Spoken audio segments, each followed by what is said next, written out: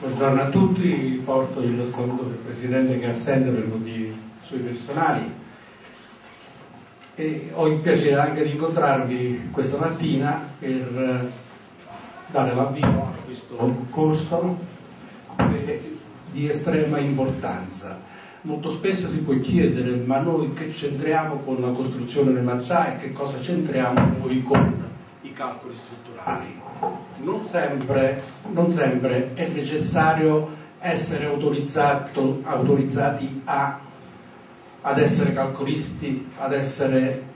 progettisti integrali della, della, struttura in acciaio, ma è importante sapere le condizioni, le cause per cui si debba pervenire a una scelta dei materiali o a una scelta progettuale della costruzione, se debba essere in cemento armati, in muratura o in acciaio, perché deve, deve far parte di un bagaglio culturale della nostra professione e che ci deve distinguere anche nella scelta. Quello che conta è avere le informazioni di base. Le informazioni di base devono partire anche dall'esperienza che ognuno di noi ha avuto, per quelli che sono un poco più anziani hanno fatto tutto l'arco del terremoto del 1980, ma sicuramente ognuno di noi che ha operato in quel settore è consapevole che sono stati commessi anche degli errori, come non tenere conto della elasticità della struttura. Noi sappiamo benissimo, l'abbiamo capito per l'esperienza diretta professionale, ma anche per averla vissuto questo terremoto dell'80 dell'Irpinia, è un movimento tellurico che non ha eh, limiti di, eh, di comprensibilità di quanto accade, di come accade, e quello che invece a noi deve interessare, deve interessare come si deve costruire, come si deve costruire al meglio e di creare le strutture del più leggere, del più flessibile e in questo campo credo che l'azienda che si propone qui oggi ad illustrarvi la costruzione in acciai è una di queste fasi in cui eh, il professionista deve acquisire le nuove teorie sulla costruzione e sulla edificabilità, specie nelle zone del terremoto. Che dire di queste strutture in cemento armato, eh, in, in acciaio, è delegato direttamente all'azienda che vi proporrà, però teniamo conto che non è una novità assoluta, è una scoperta che è conseguente alle analisi storiche che si sono fatte, ma la struttura in acciaio è nata, e voi lo ricorderete benissimo, molti di voi sicuramente l'avranno vista, c'è la Torre Eiffel, che è costruita completamente in acciaio, ma siamo primi, alla fine dell'Ottocento e già si è parlato di questa struttura, della sua flessibilità, della sua cosa. Non intendo dilungarmi oltre in questo settore perché la materia deve essere sviscerata con attenzione e deve essere seguita con altrettanta attenzione. Voglio ricordarvi, così come istituzione voglio chiudere questo argomento,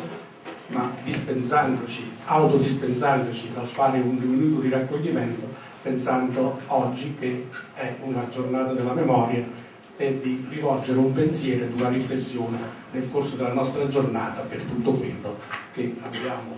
capito attraverso i romanzi, attraverso la televisione, per onorare la memoria di quanto è stato sofferto dalla gente e di quanta cattiveria si è dotata l'uomo nei confronti di, di queste generazioni passate, augurandoci che facciamo riflessione che ancora oggi, nonostante tutte queste memorie che noi facciamo, esistono ancora queste atrocità nei confronti dell'umanità. Mi fermo qui, vi porto il saluto del Presidente, del mio in particolare, e passo la parola ad Antonio. Grazie. Grazie Presidente, adesso ho la parola, entriamo già nel, nel, nel tema al Presidente regionale Antonio Santosuoso che illustrerà le competenze dei geometri, in quanto lui già è stato membro della Commissione nazionale sulle competenze e quindi potrà illustrarci al meglio. Grazie Donino. Grazie a voi, buongiorno a tutti, ben ritrovati, insomma ci ritroviamo dopo, dopo l'anno scorso, insomma ci ritroviamo in un bellissimo seminario organizzato dal vulcanico Enzo, insomma, che già ci ha annunciato che ci sono già eh, altrettanti appuntamenti nel futuro. Rispetto all'argomento di oggi, insomma, noi tutti quanti sappiamo, inutile che io mi dilunghi su questo, il nostro regolamento risale al 1929, questo che vediamo qui, eh, legge decreto 12 febbraio 29, numero 274. Problema competenze, giustamente mi diceva Enzo, qual è rispetto a, oggi parliamo di strutture eh, metalliche e, e di strutture interaiate alla fine. Per cui noi eh, nelle nostre competenze alla lettera M dell'articolo 16 se si può andare avanti gentilmente si trova l'articolo 16 la lettera M cita in maniera chiara purtroppo chiara per noi non per altri non per i giudici a volte siamo eh, abilitati alla progettazione, direzione e sorveglianza di edifici di modesta entità civili punto non viene descritta quale materiale usato. Cioè lì progetto, direzione e sorveglianza di modeste costruzioni civili. Mentre prima alla ECO ci dice eh, quali sono le strutture incendiarie per cui potremmo anche calcolare, le modeste costruzioni da calcolare, quelle agricole, ce lo dice chiaramente, qui non ce lo dice e probabilmente il legislatore in quel caso ha, voluto, ha volutamente evitato di mettere la tipologia materiale usato. Quindi questo è a livello generale. Poi ovviamente su questo sono scatenate tantissime sentenze a favore e contro. Ovviamente la parte noi cerchiamo di pubblicizzare tutte quelle a favore, gli altri cercano di pubblicizzare tutte quelle contro, per ovvio, per il gioco delle parti. Però devo dire in quest'ultimo periodo noi abbiamo fatto un lavoro enorme a livello nazionale, questo devo dare atto al nostro presidente nazionale attuale, eh, Samuccelli, che è molto padrone della materia, ho avuto modo di stare a Roma insieme a loro, una commissione che ha eh, cercato di dare un supporto ai colleghi che avevano difficoltà, ai colleghi e ai collegi che si trovavano in, difficoltà non, eh, non poche, rispetto anche che ci sono delle sentenze, cari amici, con gli direttori, delle sentenze che sono eh, straordinariamente pericolose, che hanno stravolto eh, veramente quella che potrebbe essere l'attività nostra, ma hanno stravolto anche la vita delle, delle persone, del collega. Sono l'architetto Pugliese, innanzitutto volevo ringraziare il collegio dei geometri ci ha dato la disponibilità di fare questo seminario formativo che uno di, eh, fa parte di una, degli altri seminari che noi avremo sul territorio nazionale eh, nei confronti di temi che riguardano l'innovazione tecnologica e la sicurezza antisismica. Eh, noi eh, abbiamo da poco inaugurato uno spazio esposizione e formazione a Montoro, eh, in provincia di Avellino, dove spieghiamo nei particolari questo nuovo tipo di tecnologia, tanto nuova non è, poi lo vedremo dopo, eh, del cold form steel, grazie anche al supporto all'interno del nostro spazio espositivo eh, di sezioni in scala reale di strutture che realizziamo in modo che possiamo essere quanto più esaustivi possibili sia per i tecnici che per i clienti che ci vengono eh, a trovare. Il nostro motto è tutto a un'evoluzione, nel senso che nel corso dei secoli abbiamo utilizzato le disparate tecnologie a partire dalla muratura al cemento fino ad arrivare al cold steel. Eh, non abbiamo la pretesa di dire che questa è la tecnologia migliore o non siamo qui per imporre eh, in questo caso a voi geometri questo tipo di tecnologia. Possiamo però dire che è comunque una tecnologia che, eh, mi sentite, eh, nasce oltre 100 anni fa, eh, quindi non è una novità che noi stiamo portando sul territorio nazionale. Questo lo, lo, si è sviluppata principalmente negli Stati Uniti e in Inghilterra già eh, nella seconda metà dell'Ottocento. Uh, un esempio tipico fu la, la, realizzazione da parte di Peter Naylor già durante la corsa all'oro in California eh, di abitazioni trasportabili in ferro. C'erano delle piccole unità di 6 metri per 4 facilmente assemblabili perché erano date di scanalature in tagli e si riuscivano quindi a montare in eh, meno di una giornata. Ma mm, inoltre c'è anche l'American Iron Institute che già eh, a metà del secolo scorso, prima della metà del secolo scorso, nel 1939, aveva interesse ad approfondire questo tipo di tecnologia, cioè quella del CFS, eh, e quindi incaricò il George Winter, che è il padre dell'acciaio formato a freddo, di istituire una commissione insieme alla Cornell University eh, per creare la prima edizione della normativa ISI sugli elementi in acciaio cold Però questo era un inizio rispetto a tutta la normativa che adesso c'è sia negli Stati Uniti e che adesso è stata anche recepita qui in Italia grazie alle nuove norme tecniche della, delle costruzioni del 2008 e anche all'Eurocodice 3. Eh, da questa partenza, che era già un inizio, passiamo ad alcuni esempi proprio già degli anni 60, sempre negli Stati Uniti. Gli architetti Wexler e Harrison cercarono di concepire eh, una struttura eh, realizzata tutti in acciaio, però con prezzi accessibili per eh, la classe media statunitense. Eh, lo vedete da queste immagini, sono proprio mh, gli originali del plastico. Eh, questa casa è caratterizzata da un nucleo centrale che comprende cucina, bagni, lavanderia, la maggior parte del, delle tubazioni impiantistiche eh, del progetto. Eh, importante sono le fasi di cantiere, già negli anni 60, qui già mh, cominciate a vedere le prime soluzioni eh,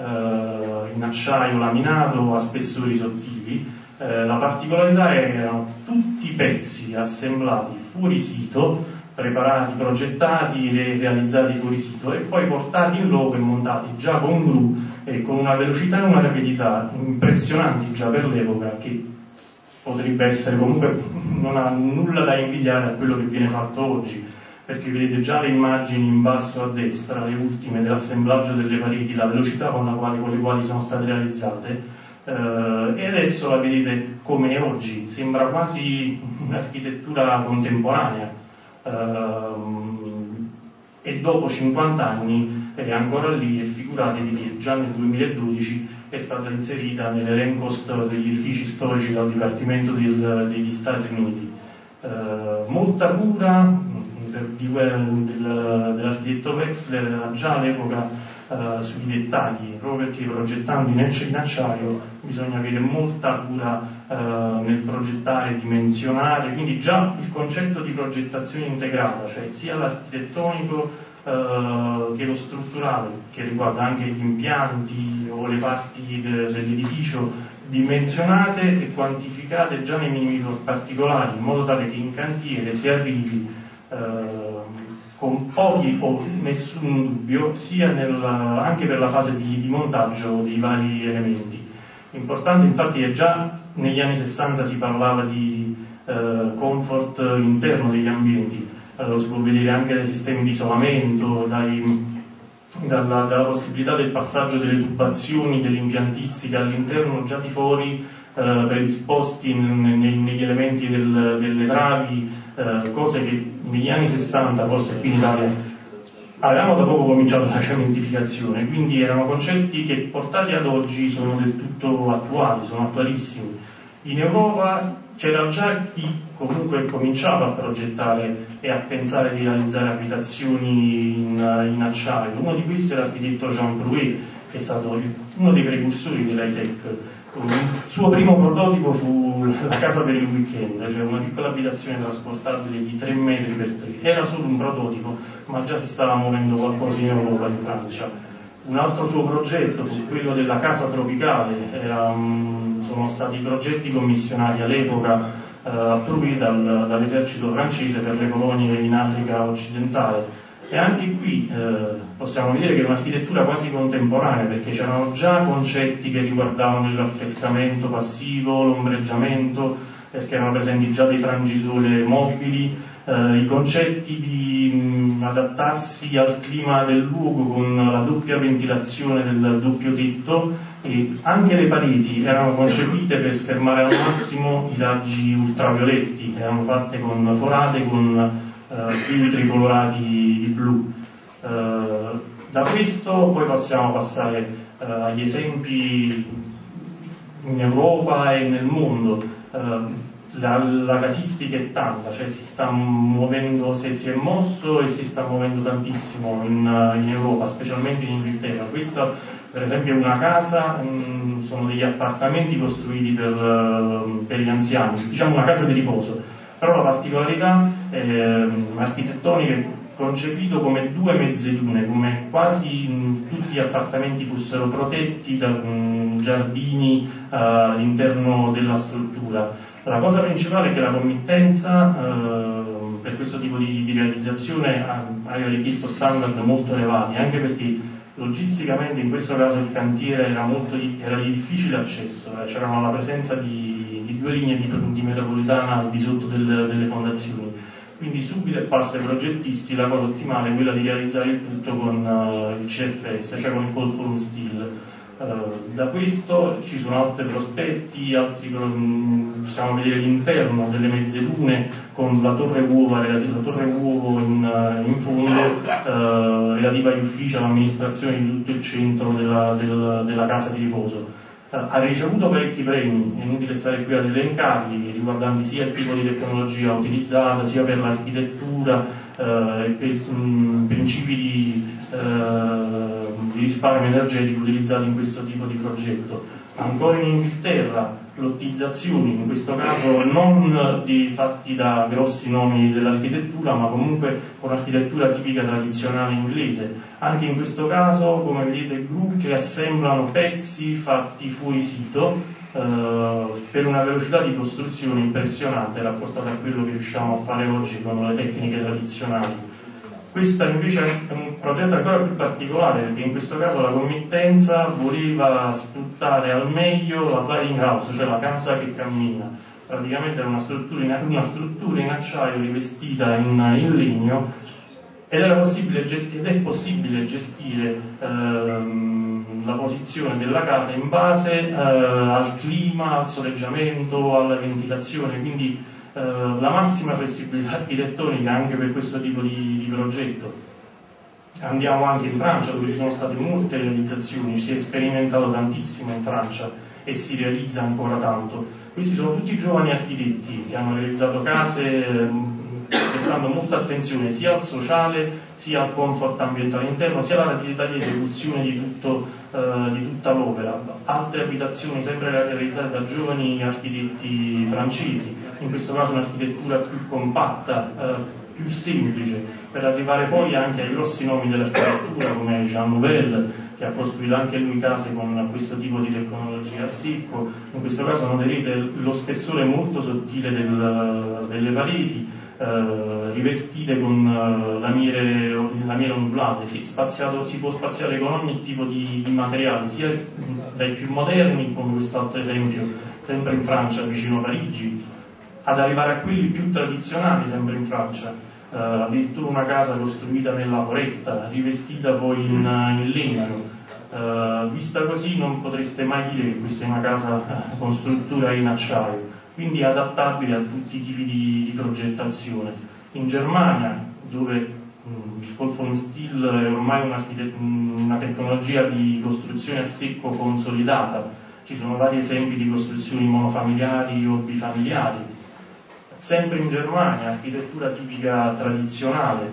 eh, una ricostruzione fedele di, un, di una casa tipica tedesca.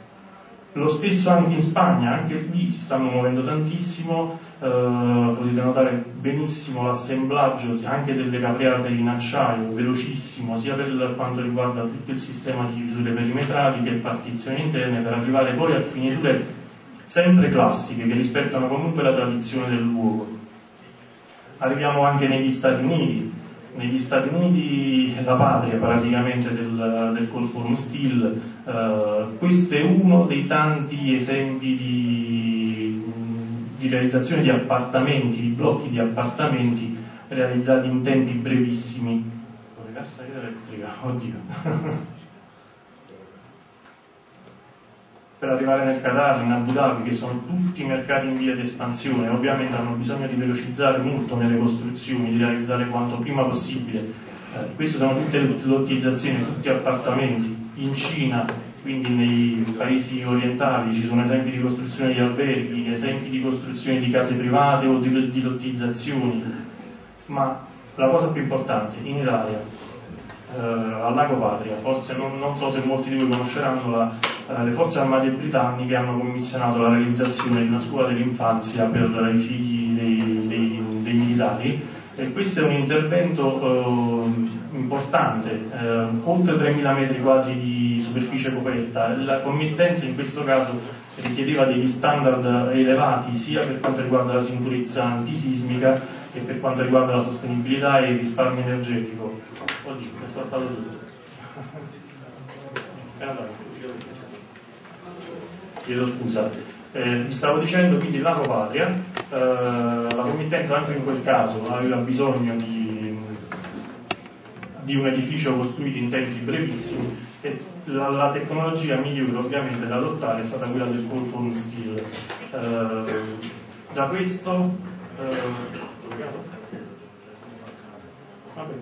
posso continuare così altrimenti eh, da questo capite che comunque il cold form steel è la tecnologia ehm, che consente una velocità di esecuzione non indifferente eh, e permette, oltre alla struttura, mh, all'abilità di esecuzione della struttura della quale vi parlerà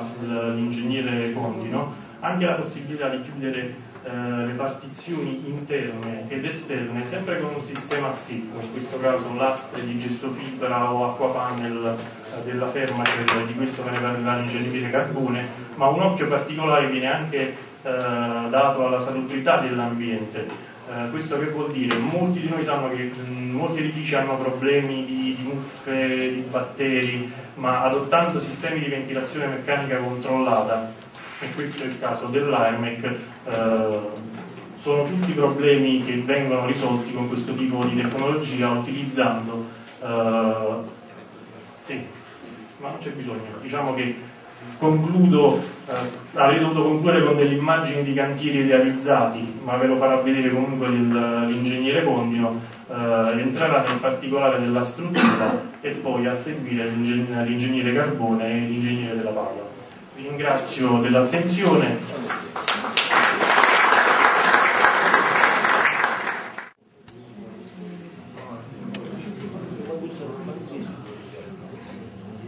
Allora, andiamo adesso a vedere in dettaglio il sistema di costruzione che noi adottiamo per la realizzazione di queste costruzioni, come già anticipato l'architetto. Eh, adesso entriamo un pochettino nel dettaglio. Il sistema, quindi eh, praticamente andiamo a vedere due aspetti fondamentali l'aspetto di tipo strutturale e l'aspetto di tipo eh, energetico, cioè il fatto che gli edifici, oltre ad essere edifici che hanno una importante e eh, ottima risposta strutturale, vengono anche realizzati in maniera tale da avere anche un risparmio energetico e quindi di essere degli edifici ecosostenibili. Sono due aspetti che vengono coniugati proprio per avere dei edifici di qualità. Quindi il sistema di costruzione sostanzialmente in cosa consiste? Vengono utilizzati dei profili laminati a freddo che dalle, dai COS vengono profilati e vengono fuori una serie di elementi eh, diverse sezioni che vengono eh, praticamente realizzati secondo diciamo, della geometria che viene fuori dai calcoli strutturali. Questi elementi poi come vengono assemblati? Vengono assemblati secondo il sistema Platform System, che è il sistema che già veniva utilizzato nell'America in, in, nei secoli scorsi per la realizzazione di abitazioni in legno, quindi si è fabbricato delle abitazioni in legno. Poi diciamo questo sistema è un'evoluzione del sistema in legno, proprio perché il sistema in legno presentava una serie di problemi. Quindi poi con l'evoluzione delle macchine e la capacità anche attraverso dei software delle macchine con elevata precisione, che è possibile realizzare profili di diverse sezioni, è stato possibile quindi realizzare questi edifici non più in legno ma con degli elementi in, in acciaio. Quindi vengono assemblati secondo il sistema Platform System e poi eh, viene curato l'involucro e la copertura in maniera tale da avere poi degli edifici con un aspetto di tipo tradizionale. Adesso andiamo a vedere come questo involucro anche viene poi eh, realizzato. Eh, quindi, eh, eh, dove è che si è diffuso il sistema? Si è diffuso dove era necessario avere edifici eh, eh, ad elevata resistenza sismica, quindi nel Giappone, in, in, dei, in, dei, paesi dove poi era necessario avere, sostituire gli edifici in legno che presentavano eh, problemi di durabilità con attacchi di termiti, per esempio in Australia, e quindi diciamo, si è sostituito il sistema con il sistema in, in acciaio. Sostanzialmente quindi nei paesi, in Giappone dove c'è un'elevata quindi sismicità, praticamente lo sviluppo di questo tipo di edifici ha avuto un effetto di tipo esponenziale. Vedete qui il confronto che c'è tra i diversi sistemi di costruzione, abbiamo il sistema in muratura, in legno, in cemento armato e poi il sistema CFS che rapportato al peso ha un'enorme resistenza, quindi peso basso e enorme resistenza. Eh, quali sono gli elementi che caratterizzano questo sistema di costruzione? Sostanzialmente il sistema è un sistema eh, è, eh, misto, no? quindi acciaio intelaiato, però lavora a assetti, tipo lavoratura tradizionale, anche se in questo caso è possibile poi assemblare due elementi per poter risolvere alcuni problemi che si presentano dal punto di vista architettonico, cioè quindi rispetto al eh, sistema a assetti è un sistema più flessibile per consente in qualche modo di utilizzare elementi misti, intraiato setti. Quali sono gli elementi quindi che caratterizzano poi per esempio un pannello portante? Quali sono? Sono dei montanti in acciaio laminato a freddo sezione C, sezione che varia a seconda dei calcoli strutturali e anche ad interasse variabile a seconda del calcolo strutturale. Ci sono poi una serie di elementi che devono essere curati, come per esempio le piattabande delle finestre, o altri elementi di nodi, eccetera, che devono essere quindi curati per avere poi un edificio che risponda ai requisiti statici e, e antisismici. Poi i solari vengono realizzati sempre con degli elementi AC, quindi dei profili AC eh, che vengono dimensionati secondo calcolo strutturale, e il, uh, le coperture in genere quando è possibile vengono realizzate con sistemi intraiati tipo capriate oppure sempre i solai vengono realizzati come solaio inclinato normale quindi con le, i travetti a sezione, eh, a sezione praticamente più elevata per, eh, a seconda della luce eh, dal punto di vista dell'approccio al calcolo strutturale faccio dei cenni giusto per dare degli input su come devono, devono essere quindi calcolati, quali sono appunto gli approcci di tipo eh, al calcolo, sostanzialmente noi in Italia eh, praticamente dobbiamo utilizzare, secondo la nostra normativa, che è il DM 2008 e la circolare 2009, facendo poi anche riferimento al codice 3, noi dobbiamo praticamente utilizzare un sistema intagliato con controllenti concentrici che viene contemplato dalla normativa. Noi diciamo come eh, nei calcoli andati ad effettuare usiamo addirittura eh, senza vincoli intermedi, quindi va a vantaggio di statica, però potremmo anche utilizzare con vincoli intermedi. Mentre eh, l'approccio americano al sistema è un approccio che consente di avere un maggior risparmio anche poi sul materiale perché consente di far lavorare praticamente il pannello di rivestimento diventa elemento strutturale e quindi noi possiamo dimensionare di meno gli elementi d'acciaio e quindi c'è una maggiore economia. Noi però andiamo invece a realizzare questo tipo di approccio che il pannello lo mettiamo comunque, però non lo teniamo in conto nel calcolo, va a vantaggio di statica, però abbiamo un più spreco tra virgolette di, di, materiale, però è l'approccio che ci consente in tutti i generi civili di tutta Italia di poter avere l'approvazione diciamo, di calcolo strutturale. Le unioni degli elementi strutturali come vengono realizzate? Vengono realizzate attraverso delle viti autoperforanti, cioè delle viti che fanno eh, foro e unione contemporaneamente si presentano sotto questo aspetto e hanno diversa, diversa tipologia della, delle teste a seconda poi dell'impiego. Se non devono avere, fare degli spessori, per esempio, del utilizziamo delle viti piatte. Dove, dove è necessario un bullone, utilizziamo questi bulloni. E quindi a secondo dell'approccio. Eh, per quanto riguarda l'ancoraggio al suolo, quindi alla platea di fondazione, che generalmente viene fatta nella platea di fondazione come, come, come fondazione, utilizziamo il, gli ancoraggi meccanici o possiamo fare uso di ancoraggi che utilizzano i chimici per, questo dipende chiaramente dal tipo di calcestruzzo che troviamo. Se è una platea fatta in un certo modo, possiamo utilizzare benissimo ancorati meccanici a secco. Eh, le unioni poi, quindi gli ancoraggi però non vengono fatti eh, esclusivamente utilizzando le ancorate e, basta, ha bisogno di un supporto a seconda della zona, questo viene definito attraverso un accurato calcolo strutturale, quindi secondo delle sollecitazioni che abbiamo nei vari, nei vari punti, noi andiamo a utilizzare diversi tipi di piastre, per esempio questo nodo,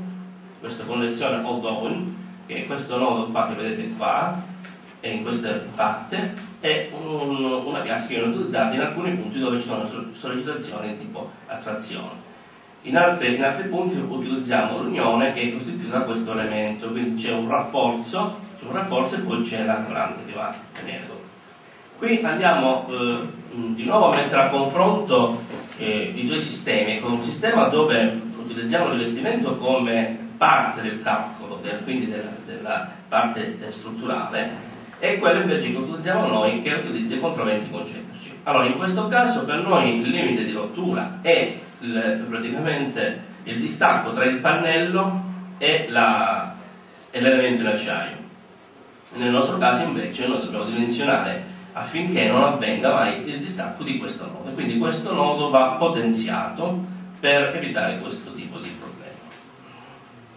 L'aspetto importante, siccome parliamo di profilati laminati a freddo, profilati a freddo, quindi con sezioni sottili, che in genere quindi sono sezioni di classe 4, noi dobbiamo andare a dimensionare, fare le verifiche secondo i criteri delle mh, sezioni in acciaio classe 4. Sezioni in acciaio classe 4 implica una verifica che la nostra normativa di M2008, soprattutto nel G-Code 2009, probabilmente nel codice 3, ci consente di verificare. Come? Attraverso il passaggio della sezione efficace, cioè noi non utilizziamo sezione piena,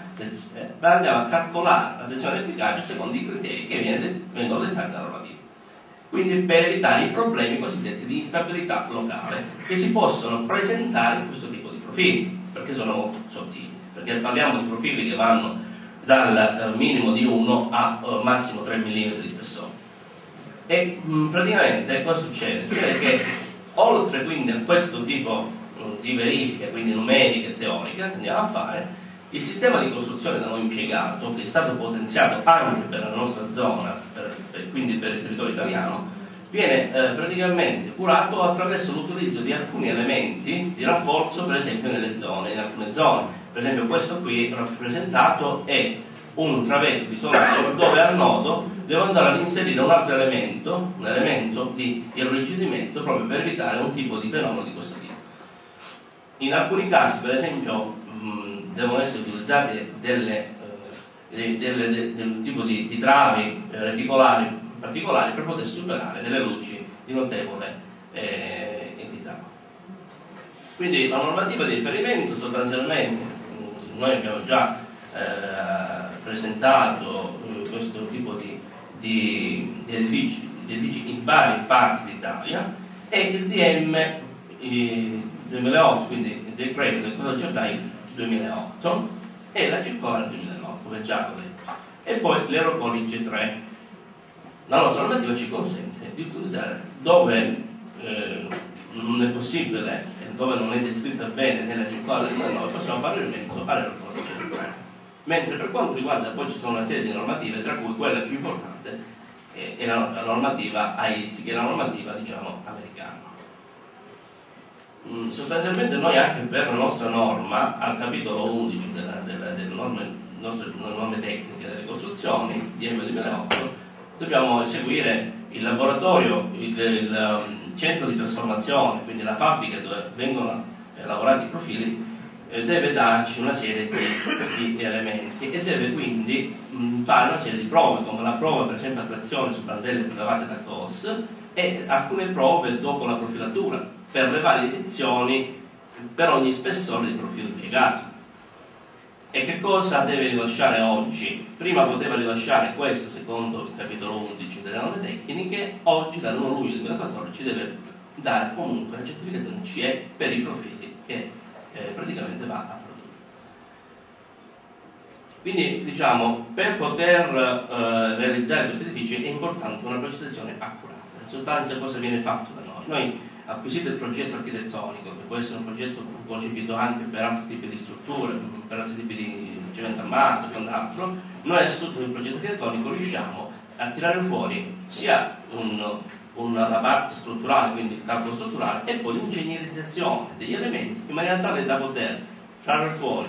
una serie di elementi che servono sia per la produzione in fabbrica, sia poi per la realizzazione in cantiere. Questo che vedete è un camion dove qui sopra è contenuta un'intera abitazione che poi viene scaricata sul posto e viene poi assemblata sul posto per poi praticamente essere eretta. Quindi il cantiere, il cantiere si, presenta, si, può presentare in due modi, o portiamo tutti gli elementi attraverso il camion in cantiere e quelli vengono assemblati, oppure, oppure possiamo fare un preassemblaggio in altra zona e poi realizzare gli elementi in cantiere. Questo a seconda poi eh, di come si presentano le varie, le varie cose, le difficoltà. Eh, quindi, giusto per fare un primo, un primo riassunto di quali sono i vantaggi di questo sistema di costruzione, possiamo dire che quindi la leggerezza, perché un edificio di questo tipo va a pesare 12-16 volte meno rispetto allo stesso edificio in per esempio in muratura cemento armato, un rendimento strutturale, che abbiamo già detto prima, elevato rapporto resistenza-peso, la qualità della produzione, perché c'è una produzione industriale, quindi nessun, nessun, errore in cantiere, gli elementi sono numerati, non ci possono essere errori in cantiere e quindi diciamo delle, delle problematiche. La flessibilità, qualunque sezione nel gesto di campo noi la possiamo realizzare.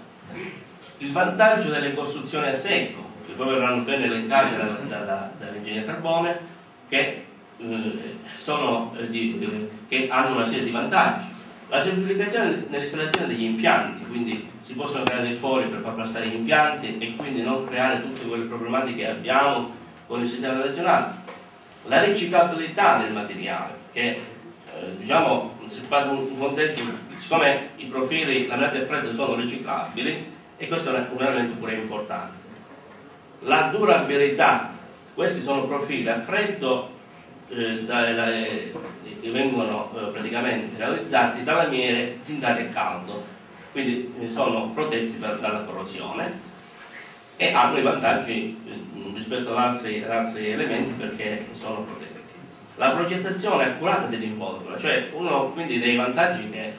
che ci proietta verso eh, il, il problematica inerente al risparmio energetico è quella di poter progettare l'involucro come si vuole, perché possiamo stratificare e noi ci, ci andiamo a costruire la nostra parete a seconda di come ci necessita per la zona climatica di, di riferimento. Quindi, oppure, eh, se vogliamo raggiungere un parametro specifico per la nostra involucro, possiamo progettarci come vogliamo, perché possiamo stratificare la parete. Infatti, praticamente, questo vantaggio qua ci proietta verso il concetto del risparmio energetico, quindi per poter realizzare degli edifici in classe A+. E poi, quindi, diciamo la classe A+, che poi non dipende solo dall'involucro, ma che dipende poi dalla, dalla possibilità di utilizzare anche tipi di impianti per, eh, per poter raggiungere appunto la classe A più secondo la nostra normativa. Eh, qui riporto praticamente un esempio per esempio di copertura come potrebbe essere realizzata, ma possiamo realizzarla di vari tipi come, come vedere. Qui abbiamo quella più classica in cui eh, del solaio diciamo eh, inclinato in acciaio noi poniamo un pannello in legno nella parte superiore poi un freno a vapore in questa parte, poi l'isolante, eh, lo spessore che ci occorre, per esempio 10 cm di roccia in questo caso è utilizzato, poi creiamo doppio di stellatura, ovviamente prima il telo traspirante permeabile, doppio di stellatura e poi andiamo a mettere le tegole. Nella parte inferiore mettiamo un foglio di fibrogesso, cartongesso per chiudere la parte interna. E questo è un esempio di, di un tipo di copertura che abbiamo utilizzato, che ha una traspittanza di 0,18. Ehm, le pareti, per esempio, possiamo utilizzare vari tipi, tra cui quelle diciamo, che in genere noi utilizziamo sono al sistema con la parete tipo cappotto, quindi andiamo, ci sono gli elementi in, cioè la parete in c'è con questi elementi in acciaio, no? poi dalla parte esterna andiamo a fare un sistema a cappotto, no? quindi che può essere fatto da rocce, in PS e viene poi rasato. Nella parte interna mettiamo ancora il materiale isolante e poi all'interno, dalla parte interna, andiamo a mettere il fibrogesso. Può essere fatta anche una parete di tipo eh, ventilato, questo quando ci occorre per esempio nelle zone climatiche dove c'è il problema del caldo, no? oppure quando vogliamo realizzare una facciata di pregio, per esempio utilizzando zinco titanio e quant'altro, noi mm, realizziamo questo tipo di parete dove su questi elementi possiamo andare ad ancorare quello che vogliamo. Oppure possiamo andare a mettere il pannello eh, in, gesso, in, in, cemento, per esempio l'H2O della Fermici che farà vedere eh, il collega, che praticamente può essere rasato e la, l'aspetto è quello di una casa tradizionale si fanno poi le bocchette per la presa d'aria e quindi viene la parete ventilata. Mm, adesso mm, vado a riportare eh, diciamo, vari esempi di eh, abitazioni realmente realizzate in Italia, che noi abbiamo realizzato in Italia, e per esempio riporto sempre questa piccola diciamo, realizzazione che era eh, ricostruzione di, dopo demolizione di, uno, di un fabbricato per il mare in legno, che è stato demolito e ricostruito interamente con il sistema in acciaio. Questo è dal 2010 realizzato ed è un edificio autosufficiente, si può dire, perché non necessita nessun elemento aggiuntivo per riscaldamento o raffrescamento.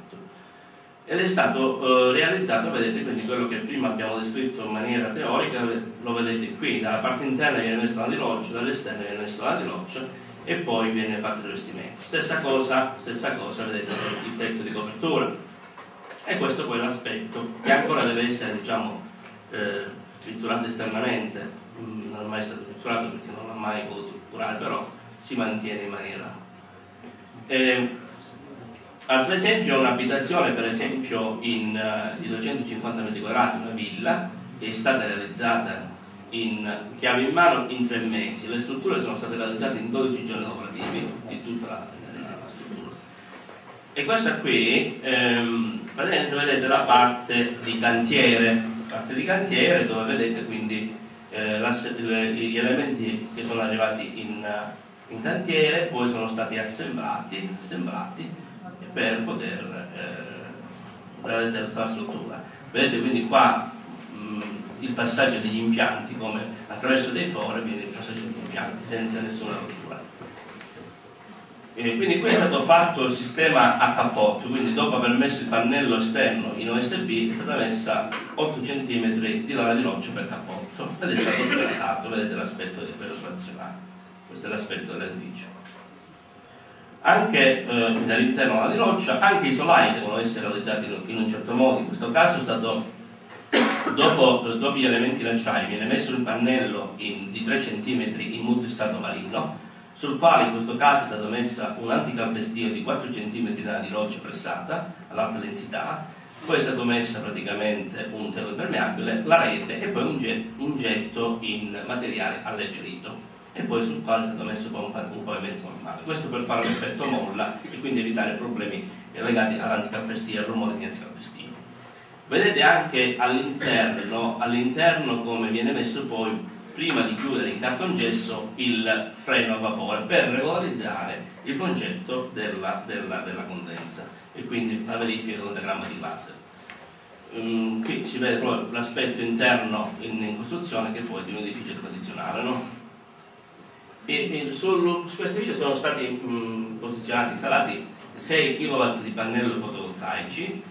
e eh, il GSE in questo caso il fatto che l'edificio era in, in, classe A dava il premio in questo edificio gliel'ha dato ed era il 30% in più sull'incentivo. E quindi praticamente questa casa sostanzialmente è una casa autosufficiente perché al di là di quello dell'aspetto normativo che viene certificata in classe A però nella realtà praticamente alla fine siccome è tutto elettrico perché è stata messa anche la pompa di cover elettrica e tutto quanto alla fine dell'anno il, il, cliente sostanzialmente non ha nessun costo, anzi ha ancora de, delle economie legate all'incentivo statale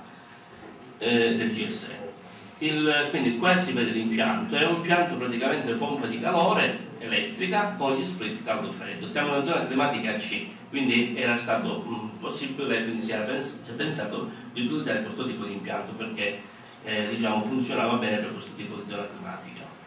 Gli infissi sono stati realizzati in questa abitazione, ma è quello che noi in genere consigliamo di fare, di eh, in, in PVC, chiaramente con delle caratteristiche che sono legate poi agli aspetti, ai parametri, ai limiti di tipo normativo.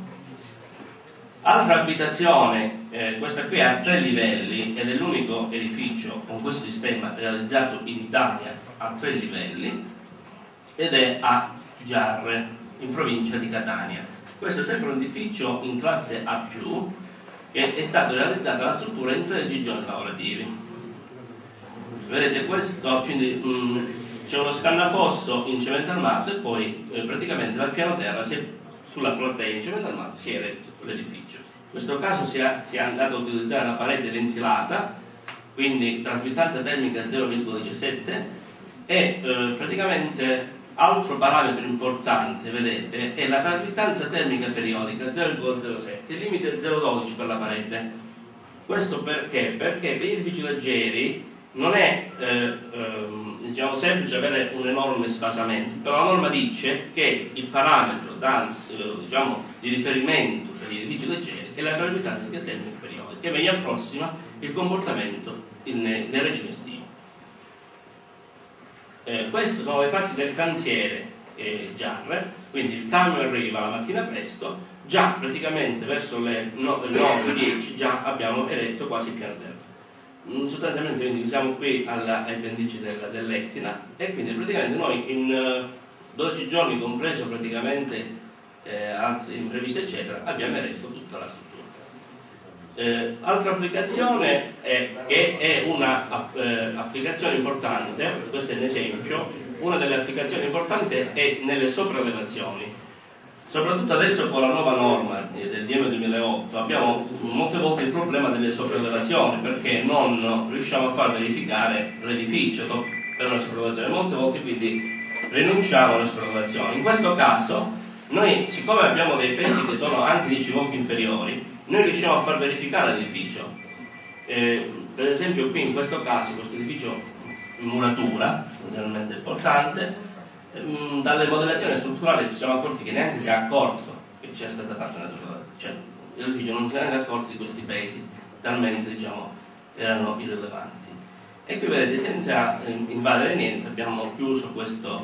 questa veranda, questo bosco che era una cosa aperta, è stata chiusa definitivamente, si è creato un, un ambiente di 60 metri quadrati, una cosa molto piccola. Altra applicazione, per esempio un borgo, questo qui a Petrocida, e eh, praticamente una parte di questo gruppo di abitazioni è stato realizzato in, in, con questo sistema di costruzione. Vedete le fasi di realizzazione, in questo caso si è fatto il sistema a cappotto e un tetto piano. L'applicazione è questa qui, mh, mm, pure molto importante, è un'abitazione di 350 metri quadrati, eh, dove si può vedere come anche a livello di eh, architettura possiamo mh, praticamente eh, spaziare e questa è un'abitazione in classe A+, che ha riguardato praticamente eh, la realizzazione su un versante di una zona di completamento di un paese di montagna. Questo è eh, l'aspetto tipo architettonico dove praticamente da una piccola abitazione eh, che era clienti erano affezionati eh, di tipo storico che esisteva nel, nel loro terreno, poi da questo si è partito per fare tutto il, il progetto. E, eh, anche se dovuto, eh, era una zona di non facile accesso, quindi anche per questo eh, diciamo, il sistema ci è venuto incontro perché ha semplificato la realizzazione, tant'è che anche le opere di contenimento sono state realizzate in terra armata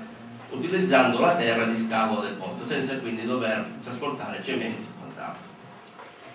questa è la platea di fondazione, questa platea di fondazione è stata fatta con doppia maglia F14 ogni 25 cm, è una cosa molto semplice che ha riguardato tutta la, la, la, la fondazione. E questo è l'aspetto, eh, quindi le fasi di costruzione di, questa, di questo edificio. Eh, e qui mh, anche la scala si è realizzata in steel. Mh, proprio, qui questa, praticamente la scala poi è stata portata dalla parte delle capriate eh, del tetto, quindi la scala sospesa eh, qui praticamente i parametri sono 0,7 per la, per, per la, parete e anche per la copertura eh, e quindi mh, mm, è stata realizzata la, la, parete tipo ventilato e vedete quindi le fasi di, di lavorazione, quindi la di roccia, gli elementi di supporto e e poi il pannello. Ehm, ecco, una cosa importante, che questo riguarda eh, un aspetto importante, per esempio la cura dei nodi che eh, facciamo su questo tipo di edifici, ma bisognerebbe fare sempre perché, perché la parte vulnerabile è, è, è, la parte di attacco tra l'infisso e le, il, la, la struttura. E quindi mh, noi abbiamo ideato questo tipo di blocco che eh, praticamente certificato che consente praticamente di chiudere questo elemento e poi quindi già con la rete e poi va a eh, ancorarsi al, all'elemento di, di, rivestimento esterno e, si va a rasare tutto il, l'elemento. Vedete qui come viene e quindi va a, a, a fare sia a risolvere il problema sia del ponte termico all'attacco sia poi del cassonetto. Questo è diciamo, l'edificio nella fase di realizzazione, quindi l'aspetto poi è l'aspetto tradizionale. Qui una cosa importante è anche il tetto. Il è stato realizzato un tetto con tegola canadese, quindi un tetto di tipo ventilato con la camera di ventilazione. Quindi oltre a, a utilizzare quindi la, dopo il pannello quindi in legno, il primo stato pannello in legno, si, si è messa pannello isolante, doppia selatura, altro pannello in muzzato marino, guaina e poi la, la tegola rese, quindi la ventilazione, camera di ventilazione.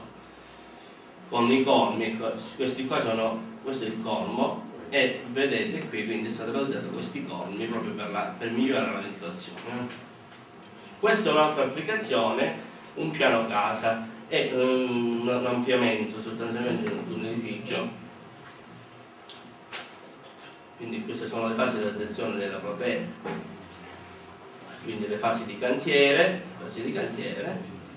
E quindi anche qui si è utilizzata parete ventilata e tetto in tegola canadese ventilato di wine, tegola quindi alla di roccia, doppia stelatura, pannello, wine, tegola questa è la parte sottostante del tetto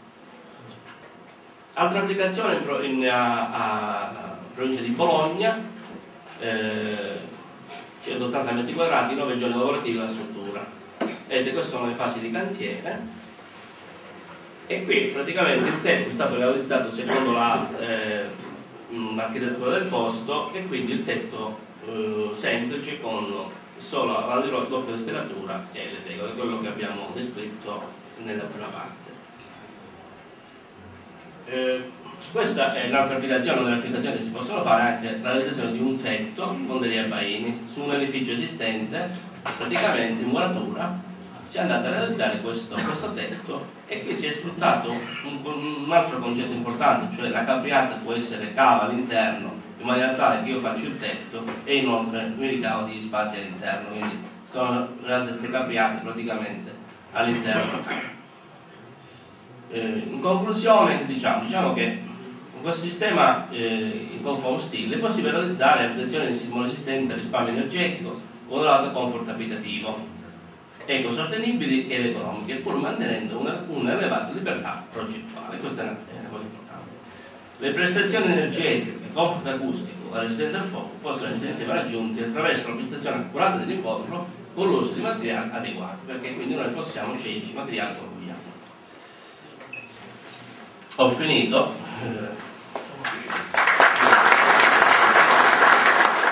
Cosa vi mostrerò io? Eh, abbiamo visto con l'architetto Pugliese più o meno quello che è diciamo, l'evoluzione di questo sistema, no? da, dove, da, dove, parte, dove è tutto quello che possiamo arrivare, poi con l'ingegner Condino abbiamo visto dal punto di vista strutturale cosa si riesce a fare, cioè in pratica quello che è emerso è che è un sistema che non ha grossi limiti, cioè nel senso che si può realizzare dal punto di vista architettonico tutto in tempi rapidissimi e si parla di prestazioni, di prestazioni elevate. Um, io vi, vi mostrerò um, come, um, come, praticamente poter ottenere con un sistema a secco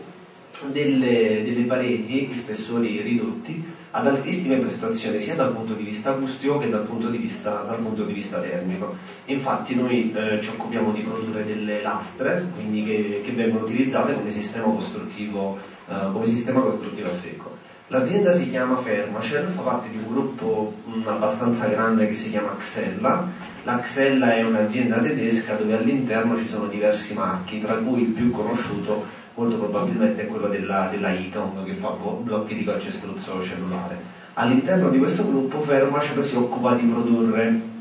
lastra in cemento e lastra in gessofibra. Gli stabilimenti di produzione sono tutti quanti in, in Germania, noi abbiamo tre stabilimenti di produzione di lastra in fibrogesso in Germania e uno di, e uno di cemento. Quindi il materiale viene prodotto in Germania e poi trasportato direttamente nei siti diciamo, di stoccaggio oppure, eh, oppure presso i cantieri.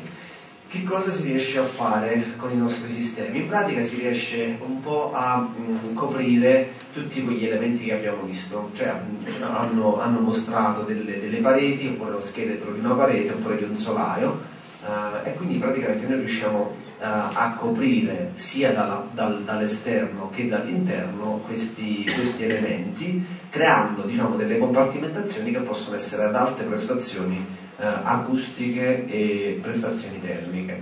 Um, le lastre in gessofibra sono lastre costituite dall'80% di gesso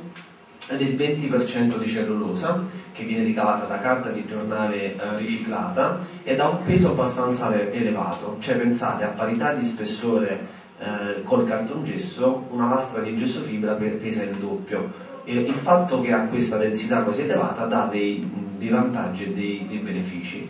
Le lastre di cemento sono, che vengono posizionate prevalentemente all'esterno sono in pratica costituite da una matrice in cemento, sono alleggerite con argilla espansa, cioè vedete questi elementi neri in pratica sono delle argille espanse e poi ci sono due reti in fibra di vetro all'interno che, eh, che le rinforzano. Con le stesse lastre in gesso fibra o in cemento noi andiamo a realizzare dei pacchetti che poi utilizziamo uh, per il sottofondo, cioè noi riusciamo a realizzare anche il sottofondo completamente a secco. Ovviamente quando si parla di struttura a secco significa struttura in cui nella fase di applicazione non si utilizza acqua, cioè quindi semplicemente c'è un assemblaggio dei diversi, eh, dei diversi elementi. Il fatto che non si utilizzi acqua fa sì che praticamente non ci siano tempi di maturazione quindi di conseguenza un sistema in cui nel momento in cui vado a posizionare è, è, è finito. Ci sono altri, eh, altre lastre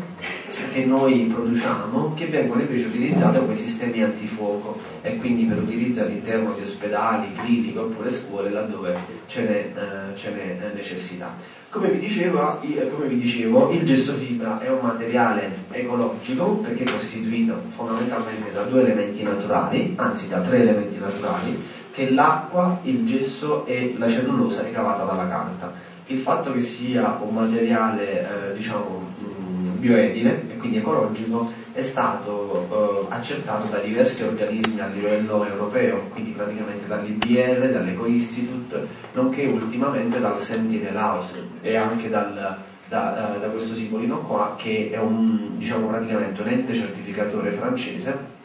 che va ad attestare che il materiale che viene prodotto e quindi utilizzato all'interno diciamo, praticamente dell'abitazione eh, è un materiale ad emissioni zero, quindi non ci sono elementi nocivi eh, che, vengono, eh, che viene sprigionato da questo, da questo materiale.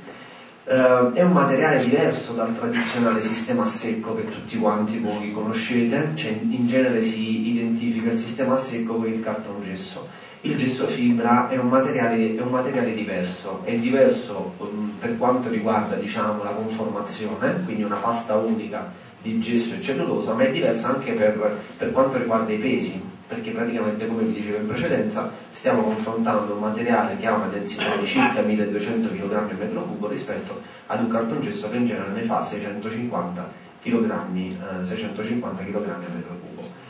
Che cosa, che cosa implica questa, questa, densità, questo peso, questo peso in più? Implica eh, che dal punto di vista ad esempio acustico ehm, si ha un comportamento eh, nettamente migliore perché l'acustica è regolata da un meccanismo che viene definito massa-molla-massa, cioè l'onda sonora per essere abbattuta impatta una prima, una prima massa, in questo caso costituita praticamente dalla, dalla lastra, poi viene smorzata da una molla, in genere la molla è identificata come un materassino isolante in, in lana minerale, quindi che può essere fibra di, le, eh, fibra di, legno, oppure può essere lana di roccia, oppure lana di vetro, e poi praticamente occorre l'altra massa per smorzare l'altra parte dell'onda, dell'onda sonora. Ovviamente questo meccanismo tanto funziona quando si hanno due masse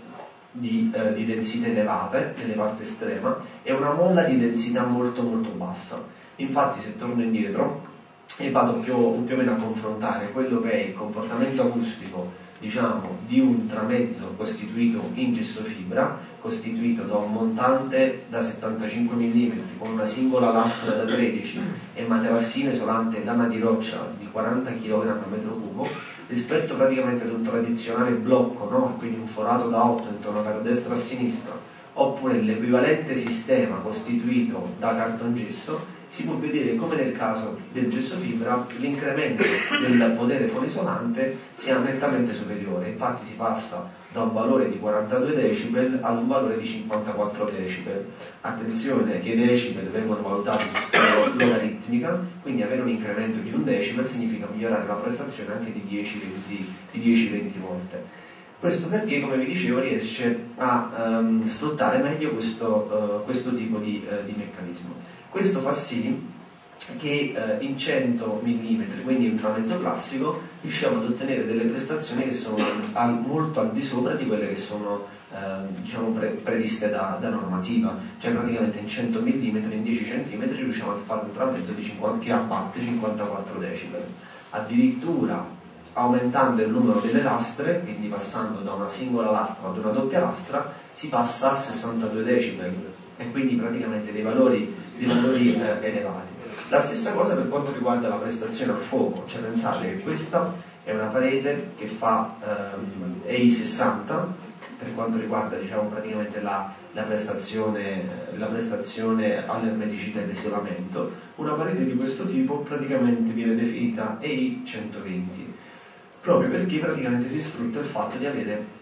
delle masse, eh, delle, masse, delle lastre con delle, una densità elevata nella parte estrema di un, di un montante, di un profilo da, da cartongesso. Addirittura esistono delle stratigrafie che spesso noi utilizziamo come divisorio tra unità abitative oppure come divisorio all'interno di una camera d'albergo che eh, in 180 mm riescono anche ad abbattere circa 65 decibel e questo avviene anche in presenza di scatole elettriche, cioè le prove vengono realizzate all'interno di laboratori andando proprio a simulare quello che potrebbe essere la parete, compreso la, l'applicazione della, della, parte impiantistica. Eh, questo è mh, diciamo, praticamente un, un, più che un tramezzo, un divisorio eh, ad, alte, ad, alte, prestazioni eh, che se confrontato con quelli tradizionali riesce ad avere praticamente un incremento in decibel intorno ai 20 pur avendo uno spessore, avendo uno spessore, eh, uno spessore ridotto. Quando si parla di sistema secco, ovviamente, come ci mostrava l'architetto, l'architetto Pugliese, non è che ci, ci, stiamo, ci, stiamo, inventando chissà cosa, nel senso che praticamente già eh, i greci costruivano senza l'utilizzo di acqua, costruivano, costruivano secco. Uh, così praticamente come, nostri, eh, come in Puglia, praticamente tutto l'alto piano pugliese della Monte è costituito da quelle caratteristiche eh, abitazioni che sono i trulli, che sono delle strutture a secco. Quindi fondamentalmente al di là degli ultimi cento anni in cui si, si, è, si, è, utilizzata prevalentemente acqua all'interno della costruzione, il sistema a secco è stato sempre utilizzato nel corso della storia. Quindi fondamentalmente mh, mm, non, non ci stiamo inventando niente, nel senso che è un sistema alquanto, alquanto evoluto e sicuramente non, non nuovo. Il fatto di costruire a secco, mm, così come dicevano i colleghi che hanno, parlati, che hanno, parlato prima di me dà dei vantaggi notevoli, eh, nel senso in una costruzione nuova si parlava praticamente di alzare una costruzione in 11 giorni e portarla al termine dopo 3 mesi, cioè mi sembra quasi, quasi fantascienza, ma in realtà è così, perché non, non essendoci acqua non c'è niente che va a maturazione, quindi di conseguenza non ci sono tempi che uno deve, deve aspettare. Eh, costruire a secco significa utilizzare de- dei materiali ovviamente che oggi vengono prodotti con una certa tecnologia e quindi di conseguenza questi materiali fanno sì che le prestazioni dal punto di vista energetico siano, siano elevate. Quindi praticamente quando si va ad assemblare oppure a fare un pacchetto costituito da lastre in gesso fibra di alta densità con, dei, con degli isolanti e oggi ce ne sono diversi eh, di, di, alta e di bassa densità si, si, riesce a raggiungere spessori ridottissimi delle prestazioni notevoli e quindi si parla di 0,16, di 0,17, di trasmittanza, di sfasamenti ehm, che vanno all'incirca 8, sulle 8-9 ore con delle trasmittanze termiche periodiche eh, bassissime. E poi questi sistemi fatti all'aria a, a, pannelli danno anche delle prestazioni al fuoco che il tradizionale non può, uh, non può dare. Ovviamente questo si ripercuote anche nella ristrutturazione, cioè questo lo notiamo anche eh, nelle eventuali sopraelevazioni oppure praticamente nelle ristrutturazioni. Utilizzare un sistema secco abbatte notevolmente eh, i, eh, i, i tempi. Dal punto di vista dei costi, io più o meno qua